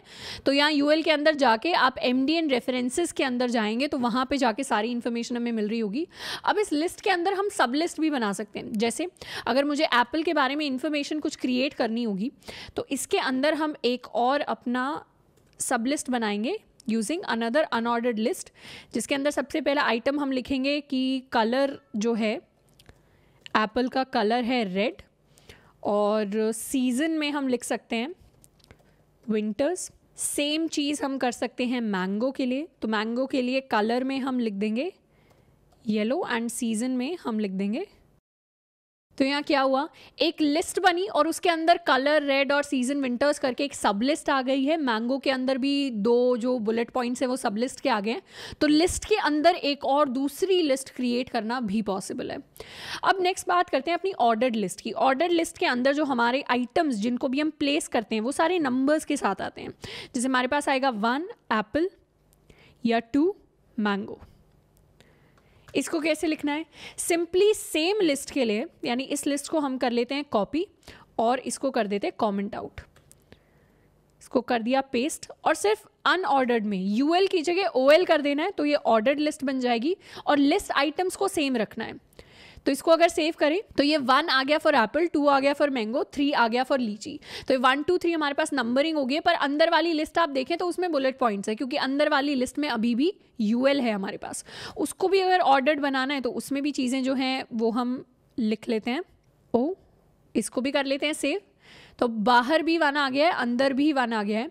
अब इस लिस्ट के जो नंबर्स हैं, इनको भी हम चेंज कर सकते हैं ए बी सी डी लिख सकते हैं रोमन न्यूमरल्स कर सकते हैं, उसके बारे में भी अब पढ़ सकते हैं एम डी एन रेफरेंसेज में जाके। नेक्स्ट हम बात करने वाले हैं टेबल्स की। अब बहुत बार ऐसा होता है कि रियल लाइफ टेबल हमें कुछ अपने वेबसाइट पर डिस्प्ले करनी पड़ सकती है। हो सकता है कि आपकी जो वेबसाइट्स है, वो कॉलेजेस के बारे में इन्फॉर्मेशन दे रही है, या जेई मेन्स की हमने काफ़ी सारी वेबसाइट देखी होंगी, जिसमें लास्ट ईयर का जेई मेन्स का स्कोर होता है, या और साथ के साथ कितना परसेंटाइल कट ऑफ़ आने वाला है या कितने मार्क्स पे कितनी रैंक आने वाली है तो वो टेबल फॉर्मेट में वैसी इन्फॉर्मेशन अच्छी लगती है। या स्टूडेंट्स की लिस्ट है जिसमें स्टूडेंट्स के रोल नंबर लिखें और नाम लिखें, वैसी इन्फॉर्मेशन टेबल फॉर्मेट में बहुत सुंदर लगती है। तो वैसी रियल लाइफ टेबल्स को जब हम अपने वेबसाइट पर, अपने वेब पेज पर डिस्प्ले कराना चाहते हैं तो वहाँ हम यूज़ करते हैं एच टेबल्स का। एच टेबल्स में हम मेजरली तीन चीज़ों की बात करेंगे। पहला टैग इनमें से है टी आर यानी टेबल रो टैग इसकी हेल्प से हम हर एक टेबल के अंदर रो जो है, वो क्रिएट करते हैं। दूसरा है हमारा टेबल डेटा टैग जिसके अंदर टेबल का जो हम डेटा डालना चाहते हैं, उसको हम डाल रहे होते हैं, और तीसरा होता है हमारा टेबल हेडर टैग जिसके अंदर हम टेबल का जो हेडर होता है मतलब मेन ऊपर वाले कॉलम्स का नाम कि इसके अंदर रोल नंबर लिखे जाएँगे, या इसके अंदर नेम लिखा जाएगा, इसके अंदर फ़ोन नंबर लिखा जाएगा, वो वाली हेडर वाली जो सबसे ऊपर वाली रोम बनाते हैं, उसको भी क्रिएट कर सकते हैं। अब एच की सबसे खास बात यह है कि इसमें आपको इतने सारे टैग्स ना याद करने की ज़रूरत नहीं है। आप जितना इनको प्रैक्टिस करेंगे ना, खुद से चीज़ें बिल्ड करेंगे। मोस्टली आपको खुद से याद हो जाएँगे। एंड साथ के साथ जब भी ज़रूरत पड़े, आप सिंपली गूगल कर सकते हैं या एम डी रेफरेंसेज चेक कर सकते हैं। बहुत सारे रिसोर्सेज ऑनलाइन अवेलेबल हैं। तो बिल्कुल टेंशन नहीं लेनी अभी कि हम इतने सारे टैक्स पढ़ रहे हैं, इतने सारे याद कैसे रहेंगे, वो वाला प्रेशर बिल्कुल नहीं लेना है। सिर्फ़ सिंपली समझते जाना है। बहुत लेट बैक होकर बहुत ईजी गोइंग तरीके से सिर्फ़ सिंपली समझना है। इनमें से सबसे पहला है हमारा टेबल रो अब इन तीनों टैग्स को हम यूज़ किस तरीके से करते हैं, इनको कुछ इस तरीके से हम यूज़ कर रहे होते हैं। जैसे अगर राइट में हमें जो टेबल दिख रही है, ऐसी हमें टेबल बनानी हो, जिसमें हमारा हेडर जो है वो है नेम और रोल नंबर और उसके अंदर डेटा हमने स्टोर करा दिया अपना नाम और अपना रोल नंबर तो उसको क्रिएट हम करेंगे टेबल टैग की मदद से। अभी एक सिमेंटिक टैग है क्योंकि टेबल से हमें समझ आ रहा है कि हम एक टेबल क्रिएट करने वाले हैं। इसके अंदर सबसे पहली जो रो है मतलब ये वाली जो रो है, इतना हिस्सा, इसको हम क्रिएट कर रहे हैं अपने इस टी आर टैग की मदद से। ये जो टी आर टैग है इसकी मदद से ये वाली रो क्रिएट हो रही है और ये जो टी आर टैग है, इसकी मदद से दूसरे वाली टेबल रो क्रिएट हो रही है। पहले वाली रो में हमने हेडर डिफाइन किया, आप ध्यान से देखेंगे तो। तो हेडर में हमारे पास नेम आ गया रोल नंबर आ गया, दूसरे वाली रो में हमने डिफाइन किया है अपने डेटा को। यहाँ पर भी टीडी होना चाहिए। तो यहाँ पर डेटा को हमने डिफाइन किया तो उसकी वजह से हमारे पास हमारा डेटा जो है टेबल के अंदर प्रिंट हो गया है। इस फॉर्मेट में अपनी टेबल को क्रिएट करके देखते हैं। हमारी जो लिस्ट है, इसको कर लेते हैं कॉमेंट आउट और अब फाइनली एक टेबल बनाते हैं। टेबल हमने बनाई, इसके अंदर सबसे पहले बनाएँगे अपनी टेबल रो जिसके अंदर सबसे पहले डिफाइन करेंगे अपने हेडर्स तो हम स्टोर करने वाले हैं सबसे पहले तो नेम उसके बाद हम स्टोर करने वाले हैं दूसरा टेबल हेडर विच इज़ हमारा रोल नंबर अब सेम जो हमने टेबल रो बनाई है, इसकी जगह हम क्या करेंगे? बनाएँगे एक और टेबल रो जिसके अंदर डेटा स्टोर होगा, यानी टेबल डेटा सबसे पहले नेम आया था तो नेम के नीचे हम लिखना चाहते हैं अपना नाम। एंड उसके बाद हमारे पास आया था हमारा रोल नंबर तो उसके नीचे भी लिख देंगे अपना रोल नंबर, इसको कर लेते हैं सेफ़ यहाँ पर हल्का सा इसको स्पेस दे देते हैं। ये है टेबल अब ये जो लेफ़्ट साइड में लाइनें हैं, हो सकता है आपके टेक्स्ट एडिटर में ना आ रही हूँ तो उसके लिए आप एक्सटेंशन में जाके एक प्रिटियर नाम का एक एक्सटेंशन होता है, इसको आप कर सकते हैं इंस्टॉल तो यहाँ पर मैंने इसको इंस्टॉल कर रखा है तो ऑटोमेटिकली मेरे लिए जो लाइन्स है वो हाईलाइट हो रही हैं तो आपको भी अगर वैसी सिमिलर हाईलाइटिंग चाहिए तो आप इसको इंस्टॉल कर सकते हैं. तो यहाँ पे टेबल रो है उसके अंदर हमने हेडर क्रिएट कर लिया, उसके अंदर हमने टेबल डेटा डाल दिया। इसको सेव करके रन करते हैं। तो हमारे लिए एक टेबल आ गई है। अब टेबल की लाइनें यहाँ पर नहीं दिख रही होंगी, पर ये जो फॉर्मेट है नेम रोल नंबर का, अब जो हेडर है, वो बोल्ड में हाईलाइटेड है और नीचे का डेटा हमारे पास सिंपली लिखा हुआ आ रहा है। सिमिलर तरीके से हम और ज़्यादा रोज ऐड कर सकते हैं अपनी टेबल के अंदर, और ज़्यादा डेटा के साथ। मान लीजिए हमें एक और डेटा ऐड करना है, जिसके अंदर एक और डिफरेंट नाम हम रख रहे होंगे, जिसके अंदर एक और नाम हम तो इस तरीके से टेबल के अंदर काफ़ी सारी इन्फॉर्मेशन आ गई है और ऊपर आ गए हैं हमारे नाम इन द हेडर फॉर्मेट अब इसमें साथ के साथ हम काफ़ी सारे जो चेंजेस हैं वो इस टेबल के अंदर कर सकते हैं। अब इस टेबल के अंदर हम और भी काफ़ी सारे चेंजेस जो हैं वो कर सकते हैं। इनमें से सबसे पहला है टेबल के अंदर एक कैप्शन ऐड कर देना। कैप्शन क्या होता है? जैसे हमारी फ़ोटो के नीचे हम कैप्शन लिखते हैं, जिसमें हम डिस्क्राइब कर रहे होते हैं फ़ोटो के अंदर क्या चल रहा है, वैसे ही टेबल के अंदर क्या चल रहा है वो उसका कैप्शन बता देता है। तो कैप्शन के अंदर हम डाल रहे होंगे स्टूडेंट डेटा की स्टूडेंट डेटा के बारे में टेबल है। मान लीजिए आप लोगों के ब्लड ग्रुप स्टोर कर रहे हैं तो आप लिख सकते हैं this is a medical information table या जिस भी तरीके का आप डेटा स्टोर कर रहे हैं, बस उसकी इन्फॉर्मेशन तो उसके लिए हमें सिंपली ऊपर एक कैप्शन टैग को इस्तेमाल करना पड़ता है टेबल के अंदर। हम लिख देंगे कैप्शन और इसके अंदर कैप्शन हम लिख रहे होंगे स्टूडेंट डेटा इसको सेव कर लें अगर। तो इस तरीके से हमारी टेबल का कैप्शन हमारे लिए आ गया है। अब टेबल कैप्शन के अलावा हमारे पास दो और सेक्शंस होते हैं, दो और टैग्स होते हैं जिनको हम टेबल में यूज़ कर सकते हैं। इनमें से सबसे पहला होता है हमारा टेबल हेड और दूसरा होता है हमारा टेबल बॉडी अब टेबल हेड का काम होता है टेबल के हेड को, यानी मेन जो हेडलाइंस है हेडर है, उसको रैप अप कर लेना। और टेबल बॉडी का काम होता है हमारे टेबल के अंदर जो भी डेटा है, उसको रैप अप कर लेना। अगर इनका हमें इस्तेमाल करना हो, ये भी वैसे लेआउट के लिए यूज़ होते हैं। तो इसके लिए हम यहाँ पर लिख देंगे टी हेड और टी हेड के अंदर आ रहा होगा हमारा हेडर तक का पार्ट मतलब फ़र्स्ट रो जो हमने ऐड की थी। एंड उसके बाद शुरू हो जाती है हमारी टी बॉडी टी बॉडी के अंदर आ रहा होगा सारा का सारा हमारा डेटा जो हमने टी हेड की हेल्प से डिफाइन किया है। इसको कर लेते हैं सेव तो यहाँ पे विजिबली कोई चेंजेस नहीं दिख रहे, पर अगर आप इंस्पेक्ट करेंगे तो आपको चेंजेस दिखेंगे। जैसे पता चलेगा कि ये जो इंडिविजुअल हैं, ये हमारे डेटा हैं। ये हमारी पूरी की पूरी टेबल है। अगर राइट में जाएँ और एक सेक्शन पे स्क्रॉल करना चाहें, जैसे टेबल के अंदर जाकर अगर हमें सिर्फ़ टेबल बॉडी देखनी है तो इतना पार्ट हाईलाइट हो जाएगा। अगर सिर्फ़ टेबल हेड देखना है तो टेबल हेड में हमारा टेबल हेड यहाँ से स्टार्ट हो रहा है और उसके अंदर सारी की सारी चीज़ें हैं अंटिल आर हेडर नेक्स्ट एक और एट्रीब्यूट होता है टेबल के अंदर जो कभी कभी काफ़ी काम आता है, वो है कॉल स्पैन का, यानी कॉलम कितने बाकी कॉलम्स तक स्पैन कर रहा है।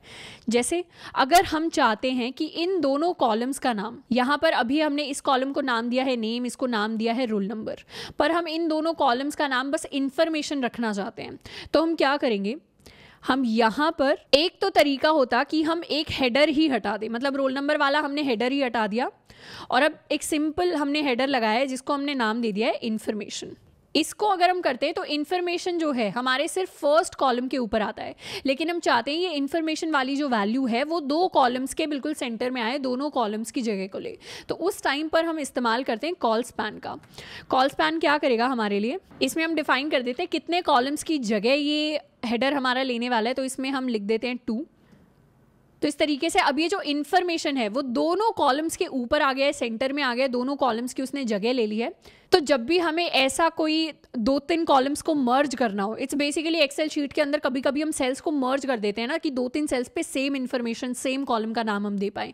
उसी तरीके से टेबल में जब मर्ज करना होता है एचटीएमएल में तो हम कॉल स्पैन का इस्तेमाल करते हैं। नेक्स्ट बात करते हैं फॉर्म्स इन एचटीएमएल की, और इसको मैं कहूँगी कि एचटीएमएल का सबसे इंपॉर्टेंट टॉपिक मुझे लगता है। जब भी हम फेसबुक जैसे प्लेटफॉर्म पर जाते हैं इंस्टाग्राम पर जाते हैं स्नैपचैट पर जाते हैं, कहीं भी जाते हैं तो शुरुआत में हमें क्या करना पड़ता है? साइन अप करना पड़ता है या कभी भी लॉग इन करना पड़ता है। तो हमें एक फॉर्म दिखाई देता है, जिस फॉर्म में हमें या तो यूज़र नेम ऐड करना पड़ता है, अपना पासवर्ड ऐड करना पड़ता है। शुरुआत में हमें नाम फुल नेम फ़ोन नंबर बाकी सारी चीज़ें ऐड करनी पड़ती है जी मेल डालनी पड़ती है। तो इस तरीके के जो फॉर्म्स है, ये सारे के सारे फॉर्म्स एचटीएमएल में क्रिएट होते हैं। तो फॉर्म्स को एचटीएमएल में क्रिएट करने के लिए हमें यूज़ करना पड़ता है अपने फॉर्म टैग का। तो forms are use to collect data from the user इसमें हमारे एग्ज़ाम्पल आ जाते हैं, हमारे साइन अप फॉर्म्स होते हैं लॉग इन फॉर्म्स होते हैं, कुछ वेबसाइट पे आप देखेंगे हेल्प रिक्वेस्ट का फॉर्म होता है, या फिर कॉन्टैक्ट का फॉर्म होता है, जिसमें आप अपनी आईडी छोड़ सकते हैं कि मुझे कोई कॉन्टैक्ट कर लो, मुझे आपका ये सामान खरीदना इस तरीके की चीज़ें। अब फॉर्म का यूज़ किया जाता है फॉर्म टैग के लिए। अब फॉर्म टैग का इस्तेमाल किया जाता है फॉर्म को क्रिएट करने के लिए। तो ऊपर डालते हैं हम अपना ओपनिंग टैग फॉर्म नीचे डालते हैं क्लोजिंग टैग और बीच में आता है फॉर्म का बाकी सारा का सारा फॉर्म कॉन्टेंट तो हम सबसे पहले डिफाइन कर रहे होंगे एक फॉर्म के लिए उसका एक्शन एक्शन क्या होता है कि फॉर्म में जितना भी डेटा आना है, वो फाइनली किसके पास जाएगा? इसके लिए यूजुअली हमारे पास एक फ्रंट एंड होता है, यानी एक जावास्क्रिप्ट फ़ाइल जो या तो उसको प्रोसेस करेगी, या वो फॉर्म का डेटा किसी बैक एंड फ़ाइल के पास जा सकता है। अब यहाँ पे मैंने पी का एग्ज़ाम्पल लिया मतलब बैक एंड फ़ाइल के पास वो फॉर्म का डेटा जा रहा है, ये फ़ाइल का हमने नाम दे दिया। अभी के लिए एक्शन हमारे लिए इतना रेलिवेंट नहीं है। बेसिकली हम बस फॉर्म डिज़ाइन करना सीख रहे हैं। उसका डेटा कहाँ जा रहा है, उस डेटा के साथ बाद में क्या होता है, ये वाला पार्ट हमारे कंसर्न का अभी नहीं है। तो सबसे पहले एक फॉर्म को बनाकर देख लेते हैं। इस ऊपर वाले पूरे पार्ट को हम करने वाले हैं। कॉमेंट आउट क्रिएट करते हैं अपना एक फॉर्म अब फॉर्म के अंदर हमें कोई एक्शन डालना पड़ेगा। एक्शन में अभी के लिए डाल देते हैं कि कोई हमारी एक्शन डॉट पी नाम की एक फ़ाइल होगी बैकेंड में। जो इस फॉर्म के डेटा को प्रोसेस कर रही होगी कि आपने लॉगिन किया है तो सारी इन्फॉर्मेशन आपने डाली है क्या साइन अप कर रहे हैं, कि आपको लॉगिन करना है तो सारा आपने यूज़र नेम और पासवर्ड सही डाला है क्या, कि अगर आप साइन अप कर रहे हैं तो फिर सारी इन्फॉर्मेशन आपके भर के दी है प्रॉपरली भर के दी है फ़ोन नंबर में ऐसा तो नहीं है ए बी सी डी डाल दिया है। तो इस तरीके की सारी जो चीज़ें होती हैं, ये इस एक्शन वाली फ़ाइल में चेक हो रही होती हैं। अभी के लिए वो काम करना हमारा कंसर्न नहीं है, हमें बनाना है सिंपल फॉर्म को। तो फॉर्म को हम इस तरीके से कुछ डिफाइन करते हैं। अब फॉर्म के अंदर हम डिफरेंट डिफरेंट एलिमेंट्स का जो है इस्तेमाल करते हैं। कभी कभी ऐसे भी फॉर्म होते हैं जिसके अंदर हमें कुछ अपनी ईमेल आईडी टाइप करनी होती है। कभी कभी कोई ऑप्शन हमें सिलेक्ट करना होता है अगर आपने गूगल फॉर्म्स चलाए हों अभी ऑनलाइन सेमेस्टर्स के टाइम पे। कोई ऑप्शन हमें टिक करने होते हैं या फिर कोई बटन को हमें क्लिक करना होता है तो काफ़ी सारी चीज़ें होती हैं। इनमें से सबसे पहले बात करते हैं पहले फॉर्म एलिमेंट की जिसका नाम है इनपुट इनपुट को कुछ हम इस तरीके से लिखते हैं। इनपुट टैग इसको कहा जाता है, जिसके अंदर टाइप हमारा होगा टेक्स्ट यानी कुछ टेक्स्ट ये इनपुट लेगा, और प्लेस होल्डर यानी इसके अंदर पहले से क्या लिखा होगा। इसको लिख कर देखेंगे तो बेटर समझ में आएगा। बना लेते हैं एक इनपुट इनपुट के अंदर टाइप हम दे देते हैं टेक्स्ट टेक्स्ट हमने टाइप दिया प्लेस होल्डर लिख लिया। टाइप समथिंग हेयर तो इस तरीके का इनपुट टैग हमने बना लिया है। अब यहाँ पर हमारे लिए क्या हुआ? एक इनपुट बॉक्स आ गया है, जिसके अंदर ऑलरेडी लिखा हुआ है टाइप समथिंग हेयर तो जो भी प्लेस होल्डर के अंदर वैल्यू होती है प्लेस होल्डर का इंग्लिश में मतलब होता है कि यहाँ पे कोई ऐसी चीज़ है जो आप कुछ नहीं लिखेंगे तो वो चीज़ लिखी होगी। जैसे इस टाइप समथिंग हेयर के अंदर मैं अपना नाम लिख दूँ तो पीछे वाला जो बैकग्राउंड टेक्स्ट है वो चला जाएगा। तो जब भी हमें बैकग्राउंड में कुछ टेक्स्ट चाहिए, उसको प्लेस होल्डर के अंदर डाल देंगे। और किस तरीके का हमें इनपुट लेना है? इनपुट लेना है हमें टेक्स्ट टाइप का। तो टेक्स्ट टाइप का जब भी इनपुट लेते हैं तो यहाँ पे हमारे पास हम कोई भी टेक्स्ट जो है अपना लिख पाते हैं, Shraddha one two three four five six इस तरीके से। मान लीजिए हम एक और इनपुट बना लेते हैं। तो फॉर्म के अंदर एक तो इनपुट बना लेते हैं अपने यूज़र नेम का, कि अपना यूज़र नेम एंटर कर दो। एक इनपुट बनाते हैं अपना पासवर्ड का, कि यहाँ पे हमें एंटर करना है पासवर्ड और इसमें टाइप क्या है? इसमें टाइप भी ना पासवर्ड दे देते हैं। कर लेते हैं सेव अब यहाँ पे यूज़र नेम के अंदर तो हम एंटर कर रहे हैं अपना यूज़र नेम अब पासवर्ड के अंदर क्या एंटर करें? पासवर्ड के अंदर जो भी हम एंटर करेंगे, वो देखिए डॉट्स की फॉर्म में डिस्प्ले हो रहा है और हम देख ही नहीं पाएँगे कि वो पासवर्ड में हम क्या चीज़ एंटर कर रहे हैं। तो इस तरीके से जब भी इनपुट में पासवर्ड लेना होता है, हम टाइप उसका पासवर्ड डिफाइन कर सकते हैं। टेक्स्ट डिफाइन करेंगे तो वो दिखेगा पासवर्ड डिफाइन करेंगे। तो कीज़ तो प्रेस होंगी, पर एक्चुअली वो बुलेट पॉइंट्स की फॉर्म में आएगा तो दिखेगा नहीं किसी और को कि क्या चीज़ स्क्रीन पर टाइप हो रही है। अब ये हमने इनपुट के दो टाइप्स देख लिए हैं टेक्स्ट और पासवर्ड नेक्स्ट बात करते हैं लेबल्स की। लेबल क्या काम करते हैं? हमारे फॉर्म के अंदर लेबल के दो यूजेस होते हैं। मतलब किसी भी इनपुट के ऊपर हम एक लेबल असाइन कर देते हैं। लेबल का मतलब होता है बेसिकली एक टैग असाइन करना कि हम इस चीज़ को एक आ, कोई स्पेशल नाम दे रहे हैं या जैसे स्टूडेंट को रोल नंबर दे देते हैं वैसे ही हम किसी इनपुट एलिमेंट को एक लेबल दे देते हैं। अब लेबल के दो फ़ायदे होते हैं जिनमें से सबसे पहला फ़ायदा होता है कि जो भी हमारे स्क्रीन रीडर यूज़र्स होते हैं मतलब हो सकता है हमारी वेबसाइट को यूज़ करने वाले कुछ लोग जो हैं विजुअली इम्पेयर्ड हों, उनकी आई साइट ख़राब है या वो देख नहीं पा रहे हैं तो कुछ डिवाइसेस में ये फीचर होता है कि डिवाइस जो है ऑटोमेटिकली डिटेक्ट करता है कि क्या क्या एलिमेंट स्क्रीन पर हैं और वो उस हिसाब से बोलता है। ये फीचर आईफोन्स के अंदर बहुत ज़्यादा कि वेबसाइट पर जो जो चीज़ें लिखी हैं, वो बताई जाती हैं। तो लेबल्स यहाँ पर हेल्प करते हैं कि उन स्क्रीन रीडर यूज़र्स के लिए हमारे पास पहले से ही उनको बोलकर बता दिया जाता है कि यहाँ पर एक चेक बॉक्स है या यहाँ पर एक बटन है या यहाँ पर एक फ़ील्ड है इनपुट फ़ील्ड है जिसके अंदर आपको अपना यूज़र नेम टाइप करना है या यहाँ पर एक फ़ील्ड है इनपुट फ़ील्ड जिसके अंदर आपको अपना पासवर्ड टाइप करना है। तो वहाँ पर लेबल्स जो है काफ़ी ज़्यादा हेल्प करते हैं। एक और जगह लेबल्स हमें काफ़ी हेल्प करते हैं, वो होते हैं हमारे रेडियो बटन्स रेडियो बटन्स यानी वो बटन जिनमें आप चॉइस में एक ही सिलेक्ट कर सकते हैं, उस तरीके के बटन्स को हम यूजुअली रेडियो बटन्स कहते हैं। रेडियो बटन को कैसे डिफाइन करते हैं? जैसे हम एक और इनपुट का टाइप यहाँ पर ले लेते हैं और टाइप में हम लिख देंगे रेडियो। अब यहाँ पर हमें प्लेस होल्डर लिखने की ज़रूरत नहीं है। यहाँ पर हम दो एट्रीब्यूट्स डिफाइन करेंगे। इनमें से सबसे पहला एट्रीब्यूट है कि क्लास इलेवेंथ और दूसरा एट्रीब्यूट है नेम और यहाँ पर हम लिख देंगे क्लास इलेवेंथ सेम तरीके से हम एक और रेडियो बटन बना सकते हैं। ये रेडियो बटन क्या होगा? ये रिप्रेजेंट करेगा क्लास ट्वेल्थ को, इसके अंदर लिखेंगे क्लास ट्वेल्थ इसके अंदर आप नोटिस करेंगे, हमने नाम जो है दोनों को सेम दिया है। अब सेम नाम का फ़ायदा क्या होगा, वो मैं थोड़ी देर में बताऊँगी। अभी के लिए बस बना रहे हैं। वैल्यू अलग अलग है, यानी इनके नाम अलग अलग है। और अब दो हमारे पास बटन आ गए क्लास ट्वेल्थ नहीं तो क्लास इलेवंथ क्लास ट्वेल्थ नहीं तो क्लास इलेवंथ रेडियो बटन की स्पेशलिटी होती है, एक बार में आप उनमें से एक ही क्लिक कर सकते हैं। मतलब मल्टीपल ऑप्शन के लिए नहीं होते। जैसे आपके जेई मेन्स के टेस्ट होते हैं तो उसमें उसमें मल्टीपल ऑप्शन अगर नहीं हो तो उसके अंदर एक ही ऑप्शन चारों में से चूज़ कर सकते हैं। तो वैसे केसेस के लिए रेडियो बटन्स हमारे होते हैं। अब इनमें से कोई एक ही हम चूज़ कर सकते हैं। अब बैक एंड पे मैं थोड़ा सा हल्का सा बताऊँ एक्स्ट्रा इन्फॉर्मेशन के लिए कि क्या होता है। जिस भी रेडियो बटन को आप चूज़ करेंगे मतलब अगर आप इलेवेंथ को चूज़ करते हैं तो क्या होगा? बैक एंड को इन्फॉर्मेशन मिलेगी कि आपने क्लास में चूज़ किया है इलेवेंथ को। तो ये वैल्यू उसके पास जाएगी। ये जो हमने प्रिंट करवाया, ये नहीं जाता, हमेशा वैल्यू जाती है। तो वैल्यू के अंदर अगर आप लिखेंगे क्लास टेंथ और आपने प्रिंट करवाया क्लास इलेवेंथ तो यहाँ तो क्लास इलेवेंथ का बच्चा क्लास इलेवेंथ पे टिक करेगा, लेकिन हमारे जो बैकेंड के पास इन्फॉर्मेशन जाएगी, वो क्लास टेंथ की जाएगी। इसीलिए हमेशा जो है वैल्यू और जो हम प्रिंट करवा रहे हैं यूज़र को, वो सिंक में होना चाहिए, क्योंकि यूज़र को ये वैल्यू नहीं दिखती और बैकेंड को ये वाला हमारा जो प्रिंट करवा रहे हैं यूज़र को ये वाली वैल्यू नहीं दिखती। तो इन दो चीज़ों का ध्यान रखना है। तो रेडियो बटन्स के अंदर सिमिलर चीज़ जो है, वही कर सकते हैं। अब इन दोनों रेडियो बटन्स को हम एक लेबल के अंदर डाल सकते हैं। लेबल में लिख देंगे यहाँ पे फॉर आईडी यहाँ अब एक आईडी भी बना सकते हैं। आईडी इज़ लाइक वही सेम चीज़ कि एक स्टूडेंट को आपने रोल नंबर दे दिया कि हाँ इसका roll number one six six four है। अब हम यहाँ पर दो सिमिलर रेडियो बटन्स बना सकते हैं। एक क्लास इलेवंथ का, दूसरा भी क्लास इलेवंथ का बना सकते हैं। पर अगर हम उनको अलग अलग आई दे दें तो वो रेडियो बटन्स अलग अलग हो जाएँगे। तो आईडी देने के लिए इसको दे देते हैं, मान लीजिए आई वन या इसकी आईडी हम वन ज़ीरो वन भी रख सकते हैं एंड इसकी आईडी हम रख सकते हैं वन ज़ीरो टू तो यहाँ पे फॉर वन ज़ीरो वन ये हमने यहाँ लिख दिया। यहाँ पे भी हम अपना लेबल बना सकते हैं। ये लेबल है किसके लिए? For I D one zero two तो इस लेबल के अंदर हम डाल देंगे अपने सेकेंड वाले इनपुट को। तो ये फॉर्म के अंदर दो हमारे लेबल्स आ गए। एक हो गया वन ज़ीरो वन एक हो गया वन ज़ीरो टू अब लेबल का फ़ायदा ये हुआ कि आप अगर क्लास इलेवेंथ पर भी क्लिक करेंगे तो भी वो टिक हो जाएगा। क्लास ट्वेल्थ पर भी टिक करेंगे तो भी वो टिक हो जाएगा। लेकिन जब तक लेबल एग्जिस्ट नहीं करते थे, जैसे अगर मैं इसको कर लूँ कॉपी और कंट्रोल जी तो इस केस में हमारे पास एक भी लेबल जो थे, वो नहीं था।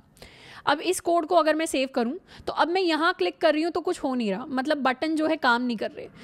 तो लेबल का फ़ायदा ये होता है कि जब भी हमारे पास सेम नाम होता है मतलब नेम हमने सेम रख दिया है दोनों अपने इनपुट का रेडियो बटन्स का तो हमारे पास ये फंक्शनैलिटी आ जाती है कि टेक्स्ट पर भी हम क्लिक करें ना मतलब इसको सेव करके टेक्स्ट पे भी क्लिक करें तो भी रेडियो बटन टिक हो जाता है।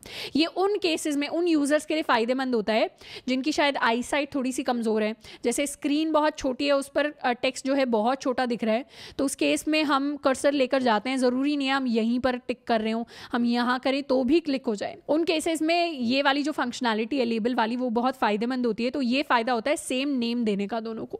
अब यहाँ थोड़ी सी फॉर्मेटिंग कर लेते हैं। इन लेबल्स को अब नेक्स्ट लाइन में ले आते हैं। नेक्स्ट लाइन में हर जो ऑप्शन है, वो हमारे पास आ गया है। यहाँ पर भी एक नेक्स्ट लाइन ले आते हैं। तो फॉर्म हमारा कुछ ऐसा दिख रहा होगा, जिसमें हमारे पास पहले यूज़र नेम होगा, फिर पासवर्ड होगा, फिर हम अपनी क्लास जो है वो चूज़ कर सकते हैं। इनफैक्ट यहाँ पर दो नेक्स्ट लाइन ले आते हैं। सेम फॉर दिस तो अपना यूज़र नेम पासवर्ड एंड फिर हमारी क्लास तो कुछ इस तरीके से हम अपने फॉर्म को बना सकते हैं। नेक्स्ट हम बात करने वाले हैं क्लास एंड आईडी की। अभी हमने बात किया कि आईडी क्या होती है। अब एक बार बात कर लेते हैं कि एक एलिमेंट के लिए एट्रीब्यूट क्लास का क्या मतलब है। अब हम किसी भी एलिमेंट को एक साथ एक क्लास असाइन कर सकते हैं और एक आईडी असाइन कर सकते हैं। क्लास असाइन कर सकते हैं और एक आईडी असाइन कर सकते हैं। क्लास को असाइन करने का मतलब आप समझ सकते हैं कि बच्चों को एक ग्रुप असाइन कर दिया कि आपका ग्रुप वन है और इन बच्चों का ग्रुप टू है। अब ग्रुप वन के अंदर हो सकता है पाँच बच्चे हों। अब इन पाँच बच्चों को कैसे हम डिफ्रेंशिएट करेंगे? इनको हम दे देंगे एक आईडी इसकी आईडी वन है, इसकी आईडी टू है थ्री है फोर है और फाइव है। और दूसरे ग्रुप के बच्चों की आईडी क्या है? दूसरे ग्रुप में मान लीजिए चार बच्चे हैं और इनकी भी अपनी एक आईडी है वन टू थ्री फोर तो अगर एक साथ ये बच्चों की जगह अगर मान लीजिए हमने बटन्स डिफाइन किए हैं और हम चाहते हैं सारे बटन्स का कलर जो हो ग्रीन हो तो इंडिविजुअली हमें इन सारे बटन्स को ग्रीन कलर देने की ज़रूरत नहीं है। हम क्या कर सकते हैं इस पूरे ग्रुप को ग्रीन कलर असाइन कर सकते हैं या इस पूरे ग्रुप टू को ब्लू कलर असाइन कर सकते हैं। तो इसको आप आ, हमारे स्कूल्स में हाउसेज होते थे ना कि ये ग्रीन हाउस है ये रेड हाउस है ये ब्लू हाउस है ये हमारा येलो हाउस है तो उस तरीके से हाउसेज को की तरह इमेजिन कर सकते हैं आप कि ये हमारा पूरा एक हाउस का कलर हो सकता है, ये हमारे हाउस के मेंबर्स हो सकते हैं। और इस तरीके से जब इन्फॉर्मेशन ग्रुप के एलिमेंट्स के लिए करनी है तो वहाँ पे ग्रुप का नाम यानी क्लास का नाम दे देते हैं। और जब इंडिविजुअल को हमें देखना है कि भाई, कि इसी पर्टिकुलर बच्चे के लिए मुझे आईडी कार्ड जो है उनका चेक करना है तो हम बस इसकी आईडी वन को चेक कर रहे होंगे। तो इस तरीके से हम कॉन्सेप्ट समझ सकते हैं अपने आईडीज़ और ग्रुप्स का। तो यहाँ मैंने एलिमेंट्स का एग्ज़ाम्पल आपको दे दिया है। ये सबसे पहले हमने एक डिव बनाया है। इस डिव के अंदर अपनी एक आईडी है आईडी वन और ये क्लास है इसकी ग्रुप वन दूसरा डिव है इसकी आईडी आईडी टू क्लास है इसका ग्रुप वन यानी यहाँ पर क्या केस हो रहा है?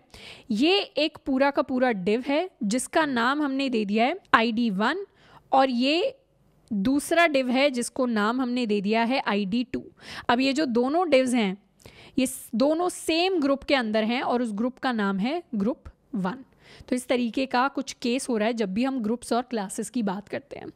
नेक्स्ट बात करते हैं चेक बॉक्सेस की। हो सकता है कभी कभी हमें ऐसे ऑप्शन देने हो जिसमें आप मल्टीपल चीज़ें जो है सिलेक्ट कर सकते हैं। वहाँ पे रेडियो बटन्स काम नहीं आएँगे तो वहाँ इस्तेमाल कर रहे होंगे हम चेक बॉक्स का। चेक बॉक्स को कैसे लिखते हैं वो भी देख लेते हैं। चेक बॉक्सेस के अंदर भी हम लेबल्स जो है वो बना रहे होते हैं। मान लीजिए किसी स्टूडेंट को सब्जेक्ट सिलेक्ट करने हैं, पाँच में से कोई उसको सब्जेक्ट सिलेक्ट करने हैं तो यहाँ हम लिख लेंगे लेबल फॉर सबसे पहले मैथ uh, के लिए लेबल बना लेते हैं। तो इसमें हम लिख देंगे इनपुट यहाँ पर जो टाइप है वो टाइप बन रहा होगा हमारा चेकबॉक्स चेकबॉक्स के अंदर वैल्यू क्या देंगे? वैल्यू इसमें दे देते हैं मैथ और इसमें नेम हम दे देंगे सब्जेक्ट और आईडी हम इसको दे सकते हैं। आईडी कब काम आएगी? आईडी बैकएंड के काम आएगी। अभी हमारे काम नहीं आ रही। बैकएंड के काम कैसे आएगी? बैकएंड डिटेक्ट कर पाएगा कि पाँच में से जितने चेकबॉक्स टिक हुए हैं, उन सबकी इंडिविजुअल आईडी क्या है। तो आप इस तरीके की फंक्शनैलिटी बना सकते हैं कि जो भी चेकबॉक्स टिक हो, उसके ऊपर एक ग्रीन कलर आ जाए या उसके ऊपर एक ब्लू कलर आ जाए, उस तरीके की चीज़ें हम कर सकते हैं। जब हम सी एस एस दोनों सीख लेंगे तो वहाँ आई काम आ रही होगी। अभी इतना यूज़फुल नहीं है, फिर भी दे देते हैं। इसको वन ज़ीरो वन ही देते हैं और इस चेकबॉक्स को नाम देंगे हम मैथ सिमिलर तरीके से और चेक बॉक्सेस बना लेते हैं। चार सब्जेक्ट का बना लेते हैं। फिज़िक्स पी एच वाई और सब्जेक्ट में हम लिख देते हैं फिज़िक्स इसको आईडी डिफरेंट देनी पड़ेगी तो इसको थ्री दे देते हैं फोर दे देते हैं। तो चेक बॉक्सेस हमारे कुछ इस तरीके से डिस्प्ले होंगे, जिनमें से हम मल्टीपल को जो है सिलेक्ट कर सकते हैं। अब इसकी फॉर्मेटिंग के लिए थोड़ा सा नेक्स्ट लाइन दे देते हैं हर किसी को। सिमिलर फॉर्मेटिंग के लिए ऊपर भी एक बार ऐड कर देते हैं। कि सिलेक्ट योर क्लास तो हमारा फॉर्म कुछ ऐसा दिखेगा जिसके अंदर ऊपर हमारे पास यूज़र नेम और पासवर्ड भरने की जगह आ जाएगी। नीचे हम अपनी क्लास सिलेक्ट कर सकते हैं। फाइनली यहाँ पे चेक बॉक्सेस आ गए। अपने फेवरेट सब्जेक्ट्स हमें सिलेक्ट करने हैं तो हम सिलेक्ट कर लेंगे math chemistry may be physics या अगर आपको मज़ा आ रहा है, अभी एच सीखते हुए तो उसमें कंप्यूटर साइंस भी टिक कर लो। तो इस तरीके से हम सबको भी टिक कर सकते हैं। तो जब भी मल्टीपल ऑप्शंस को सिलेक्ट कराना हो, तब हम यूज़ करते हैं, इस्तेमाल करते हैं अपने चेक बॉक्सेस का। नेक्स्ट बात करते हैं टेक्स्ट एरिया की। कभी कभी हम चाहते हैं कि हम जो है आ, कुछ टेक्स्ट जो है उसको यूज़र से इनपुट ले लें। मतलब हम उसे कुछ एरिया दे दें जिसमें वो सिर्फ़ कुछ चीज़ें हमारे बारे में कुछ लाइनें लिख पाएँ। जैसे इसका एग्ज़ाम्पल होता है कि कुछ कुछ कंपनीज़ जो हैं अपनी वेबसाइट्स के ऊपर फीडबैक का फॉर्म देती हैं कि आप हमारे लिए फीडबैक लिख सकते हैं। तो इस तरीके का फीडबैक अगर हमें डिज़ाइन करना हो तो उसको इस्तेमाल करेंगे उसके लिए टेक्स्ट एरिया का। कैसे यूज़ करेंगे इसको? फॉर्म के अंदर लास्ट में बनाते हैं एक टेक्स्ट एरिया और इसके अंदर सबसे पहले नाम इसको दे देते हैं, नाम हम देने वाले हैं इसको फीडबैक इसकी आईडी भी दे सकते हैं आईडी इसको वन ज़ीरो वन दे देते हैं और इसमें हम प्लेस होल्डर डाल सकते हैं. ये जो टेक्स्ट एरिया है, ये बहुत सिमिलर है इनपुट में type is equal to text के बट इसका थोड़ा सा अलग यूज़ है तो हमें वही है प्रॉपर लेबल्स प्रॉपर जो टैग्स हैं, उनका इस्तेमाल करना चाहिए. तो प्लेस होल्डर में डाल देंगे. Please give your valuable feedback here तो वो वैल्यूएबल फीडबैक जो है, हम टेक्स्ट एरिया में लिख लेंगे और यहाँ पे डाल देंगे फीडबैक यहाँ पे भी कुछ लाइन ब्रेक्स डाल देते हैं। तो अब ये हमारा फॉर्म आ गया जिसमें एंड में हम फीडबैक दे पा रहे हैं हाय मतलब ऑलरेडी उसमें कुछ कुछ पहले से लिखा होगा, इसको हम हटा सकते हैं। तो यहाँ हमारे पास हमारा प्लेस होल्डर आ गया, अब यहाँ हम लिख सकते हैं। This was a nice form thank you very much for this info अब हम चाहते हैं थोड़ा सा बड़ा हो जाए तो इसमें हम हाइट या विथ वगैरह भी डाल सकते हैं। तो इसकी हाइट हम लिख देते हैं। तो अब ये थोड़ा सा बड़ा हमें होकर दिखाई दे तो उसके लिए हम रोज़ इन कॉलम्स डिफाइन कर सकते हैं। तो इसमें रोज़ हम लिख देते हैं इज़ इक्वल टू फाइव तो क्या होगा? फाइव रोज के बराबर ये हमें स्पेस दे देगा। तो इसमें हम लिखते जा सकते हैं मतलब कुछ भी लिख सकते हैं फाइव रोज तक हमारे पास स्पेस आ जाएगी। इनफैक्ट हम कॉलम्स भी बढ़ा सकते हैं जितने मर्ज़ी चाहें। तो इस तरीके से बड़ा जो फीडबैक फॉर्म है, वो हमें मिल जाएगा। तो ऐसे हम डिफाइन करते हैं अपने टेक्स्ट एरिया को। अब नेक्स्ट बात करते हैं सिलेक्ट की। अब कुछ कुछ फॉर्म्स में हमारे पास ड्रॉप डाउन आता है। जैसे अगर हमें कोई सिटी सिलेक्ट करनी है या हमारी स्टेट कौन सी है, वो हमें सिलेक्ट करना है तो वहाँ हम ड्रॉप डाउन का यूजुअली इस्तेमाल करते हैं। तो ड्रॉप डाउन को दिखाने के लिए फॉर्म में हम सिलेक्ट को यूज़ करते हैं। तो सिलेक्ट टैग के अंदर हम उसका कुछ नेम दे सकते हैं, उसकी कोई आईडी दे सकते हैं और उसके अंदर दे सकते हैं different different option for or drop down इसको भी लिख कर देखते हैं। यहाँ फीडबैक से पहले इसको लिख कर देखेंगे। सबसे पहले लिखेंगे select name is equal to city. तो इसके अंदर सबसे पहला जो हम ऑप्शन देने वाले हैं, उसमें वैल्यू हमारे पास आ जाएगी। सबसे पहली वैल्यू दे देते हैं दिल्ली तो इसके अंदर लिख देंगे दिल्ली। अब सिमिलर और ज़्यादा हम ऑप्शंस दे सकते हैं। जैसे यहाँ पर हम दे सकते हैं बैंगलोर, यहाँ दे सकते हैं हम पुणे। तो सारे के सारे ऑप्शंस जो हैं हमारे लिए आ जाएँगे। तो ये जो फीडबैक तो यहाँ आप नोटिस करेंगे तो फॉर्म के अंदर ये वाला ड्रॉप डाउन आ गया है, जिसमें हम कोई भी ऑप्शन जो है सिलेक्ट कर सकते हैं, अपनी मर्ज़ी से जो भी सिटी हमें चाहिए तो इस तरीके से हम सिलेक्ट कर सकते हैं अपने ड्रॉप डाउन की हेल्प से भी। अब इस फॉर्म को फॉर्मेट करके क्या करेंगे? थोड़ा सा और सुंदर बना लेंगे। जैसे इस फॉर्म में स्पेसिंग थोड़ी सी हमारी ख़राब है। स्पेसिंग ठीक करने के लिए सबसे पहले तो यूज़र नेम और पासवर्ड के बीच की ये जो एक्स्ट्रा लाइन्स हैं, इनको हम हटा देंगे। तो यूज़र नेम यहाँ आ गया पासवर्ड यहाँ आ गया। फॉर्म का एक टाइटल भी दे देते हैं तो ऊपर हेडिंग दे देते हैं फॉर्म से पहले। रजिस्ट्रेशन फॉर्म इनफैक्ट हाँ एच वन जो है थोड़ी सी मेन हो जाएगी तो एच फोर तक ट्राई करते हैं। तो ये रजिस्ट्रेशन फॉर्म हमारे लिए आ गया, उसमें यूज़र नेम लिख सकते हैं पासवर्ड लिख सकते हैं। अब सिलेक्ट योर क्लास के बाद जो हमने लाइंस डाली हैं, उनको ना डालें तो अपनी क्लास हम यहाँ से सिलेक्ट कर सकते हैं, फिर सिलेक्ट कर सकते हैं अपने फेवरेट सब्जेक्ट्स को। फाइनली फिर कर सकते हैं सिलेक्ट अपनी सिटी तो यहाँ सिटी के ऊपर लिख देंगे select your city and feedback में हम इस चीज़ को कर देते हैं। तो पूरा का पूरा फॉर्म जो है हमारे लिए डिज़ाइन होकर आ गया है, जिसमें ऊपर काफ़ी सारी चीज़ें हैं, हमने इसको अच्छे से फॉर्मेट भी कर दिया है। अब लास्ट में एक और इनपुट टाइप हम डिस्कस कर लेते हैं, इसको हम कहते हैं type is equal to submit और इसको भी हम वैल्यू देंगे ऑफ़ सबमिट तो यहाँ क्या हुआ? हमारे लिए एक सबमिट बटन आ गया। तो सबमिट बटन से क्या होगा? हमारा फॉर्म सबमिट हो जाएगा। मतलब उसमें इन्फॉर्मेशन हम ऐड कर पाएँगे और इन्फॉर्मेशन को हम सबमिट कर पाएँगे। अपने फॉर्म को पूरा हमने भर लिया और उसको अब कर देंगे सबमिट तो इसको भी नेक्स्ट लाइन में ले आते हैं इस बटन को। पर सबमिट करने के बाद ये हमें दिखा रहा है क्लिक करने के बाद, कि action dot P H P को ये गेट नहीं कर पा रहा। मतलब action dot P H P हमारे लिए एग्जिस्ट नहीं करती है अभी, क्योंकि उसको हमने बनाया ही नहीं है।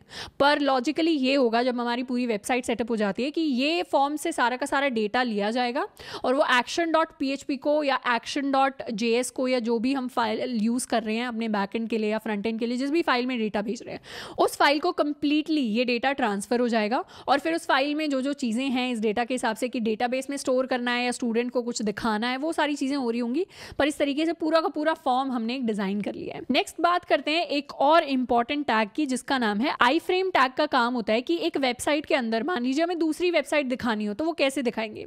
उसके लिए इस्तेमाल करते हैं आई फ्रेम टैग का to show websites inside website I frame tag कुछ एंकर टैग की तरह होता है, जिसके अंदर हमारे पास सोर्स एट्रीब्यूट होता है, जिसमें हम कोई लिंक डालते हैं।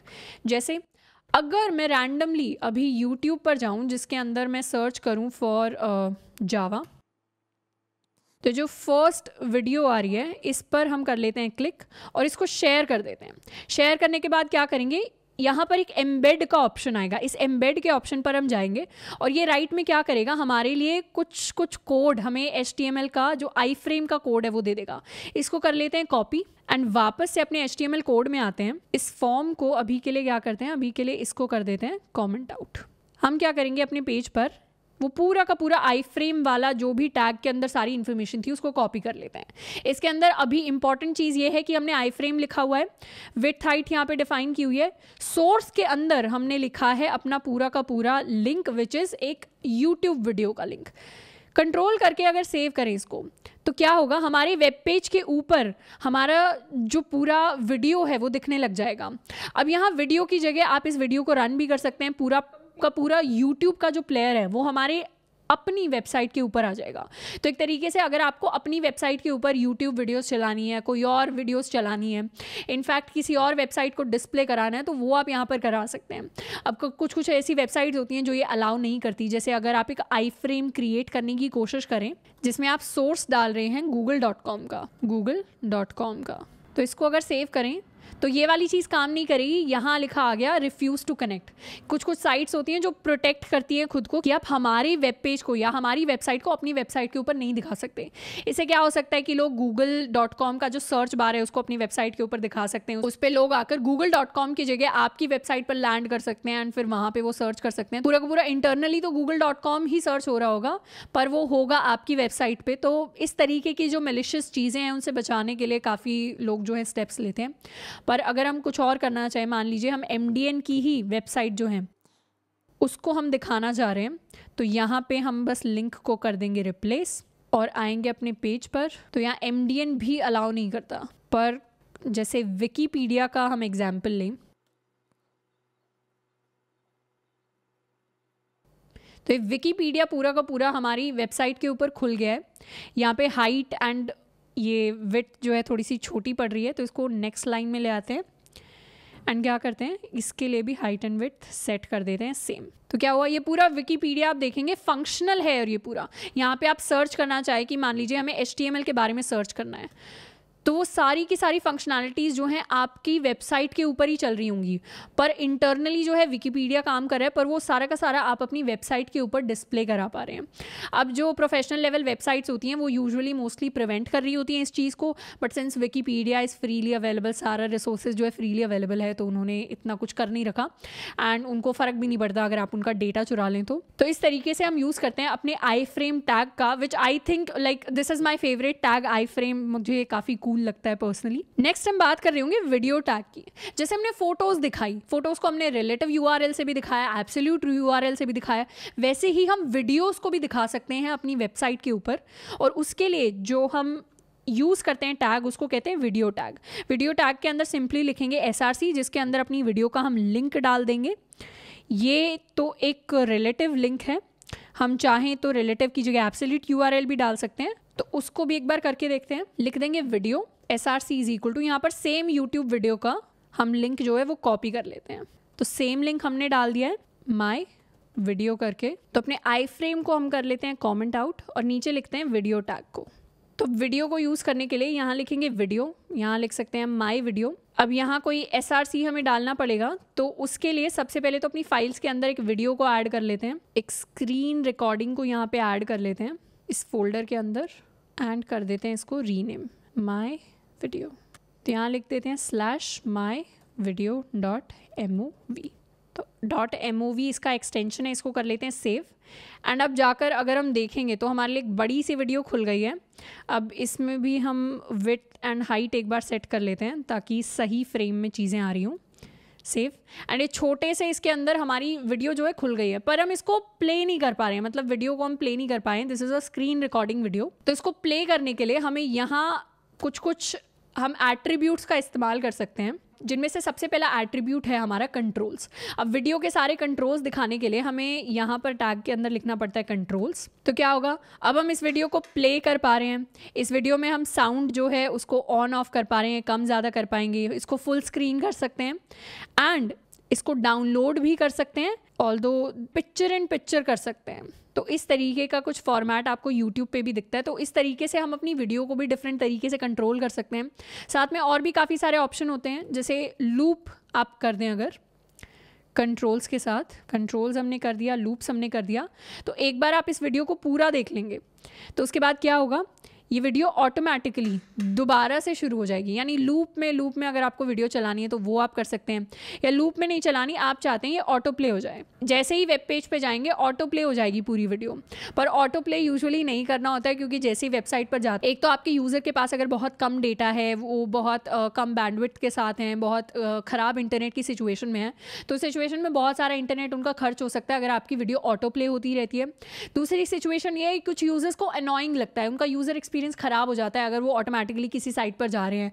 एंड मान लीजिए आपने रैंडमली कोई वीडियो जो है अपने आप चला दी है, जिसका यूज़र को पता नहीं है तो उस सिचुएशन में काफ़ी अनप्लेजेंट एक्सपीरियंस होता है। तो ऑटो प्ले यूजुअली अवॉइड करिए या ऑटो प्ले करना है तो साउंड को ऑफ़ करके करिए। जैसे काफ़ी सारी एड्स होती हैं, उनमें ऑटो प्ले होता है, पर साउंड ऑफ़ होती है तो that is a good way to auto play इसके अलावा हमारे पास हाइट और विथ के भी एट्रीब्यूट्स होते हैं कि हम साइज़ सेट कर सकते हैं, कितने साइज़ में हमारी वीडियो जो है हमें दिख रही होगी। तो ये काफ़ी सारे एट्रीब्यूट्स हमने डिस्कस किए जिससे हम वीडियो को अपनी को कंट्रोल कर सकते हैं।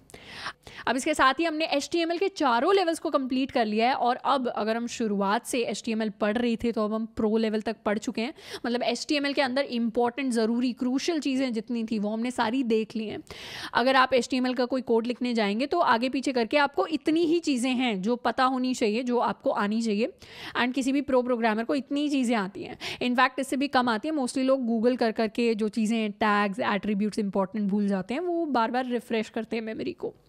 अब यहाँ पर असाइनमेंट प्रोजेक्ट वन के लिए ये है कि add a contact me page for your portfolio यानी हमने फॉर्म डिज़ाइन करना सीखा है तो हम क्या करेंगे, अपने पोर्टफोलियो के अंदर एक कॉन्टैक्ट मी के लिए फॉर्म बनाएँगे, जिसमें लोग जो हैं अपनी ईमेल आईडी हमें छोड़ सकते हैं, उसमें अपना नाम छोड़ सकते हैं, क्या उनके क्वेरी है, क्या वो कोई रिक्रूटर है, या कोई हेल्प मांग रहा है हमारे कॉलेज का जूनियर उस तरीके की इन्फॉर्मेशन डाल सकते हैं कॉन्टैक्ट मी का हमें फॉर्म डिज़ाइन करना है। इसके अलावा एक और प्रोजेक्ट टू का आइडिया है कि आपको एक वेबसाइट बनानी है रिसोर्सेज के लिए फॉर कॉलेज स्टूडेंट्स जिसमें सबसे पहले तो वेबसाइट का एक साइन अप फॉर्म हम डिज़ाइन कर रहे होंगे।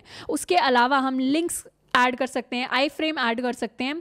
कोडिंग वीडियोस का तो कोडिंग वीडियोस के हम चीज़ें जो हैं ऐड कर दें। आप अपना कॉलेज चैनल को रेफ़र कर सकते हैं, उनकी कुछ वीडियो आप डाल देंगे। और उससे पहले एक साइन अप होगा, फिर बच्चे जो हैं जाकर डिफरेंट डिफरेंट कोडिंग वीडियोस को देख सकते हैं। साथ के साथ एक टेबल बनानी है होम पेज पर, जिसमें क्या होगा डिफरेंट डिफरेंट टॉपिक्स जो आपकी वेबसाइट कवर कर रही है स्टूडेंट्स के लिए, उनको आप दिखा रहे होंगे अपने होम पेज के ऊपर। तो ये थोड़ा सा रिसोर्स लाइब्रेरी टाइप आप एक प्रोजेक्ट बना सकते हैं। इसको अपने मिनी प्रोजेक्ट की तरह ऐड कर सकते हैं।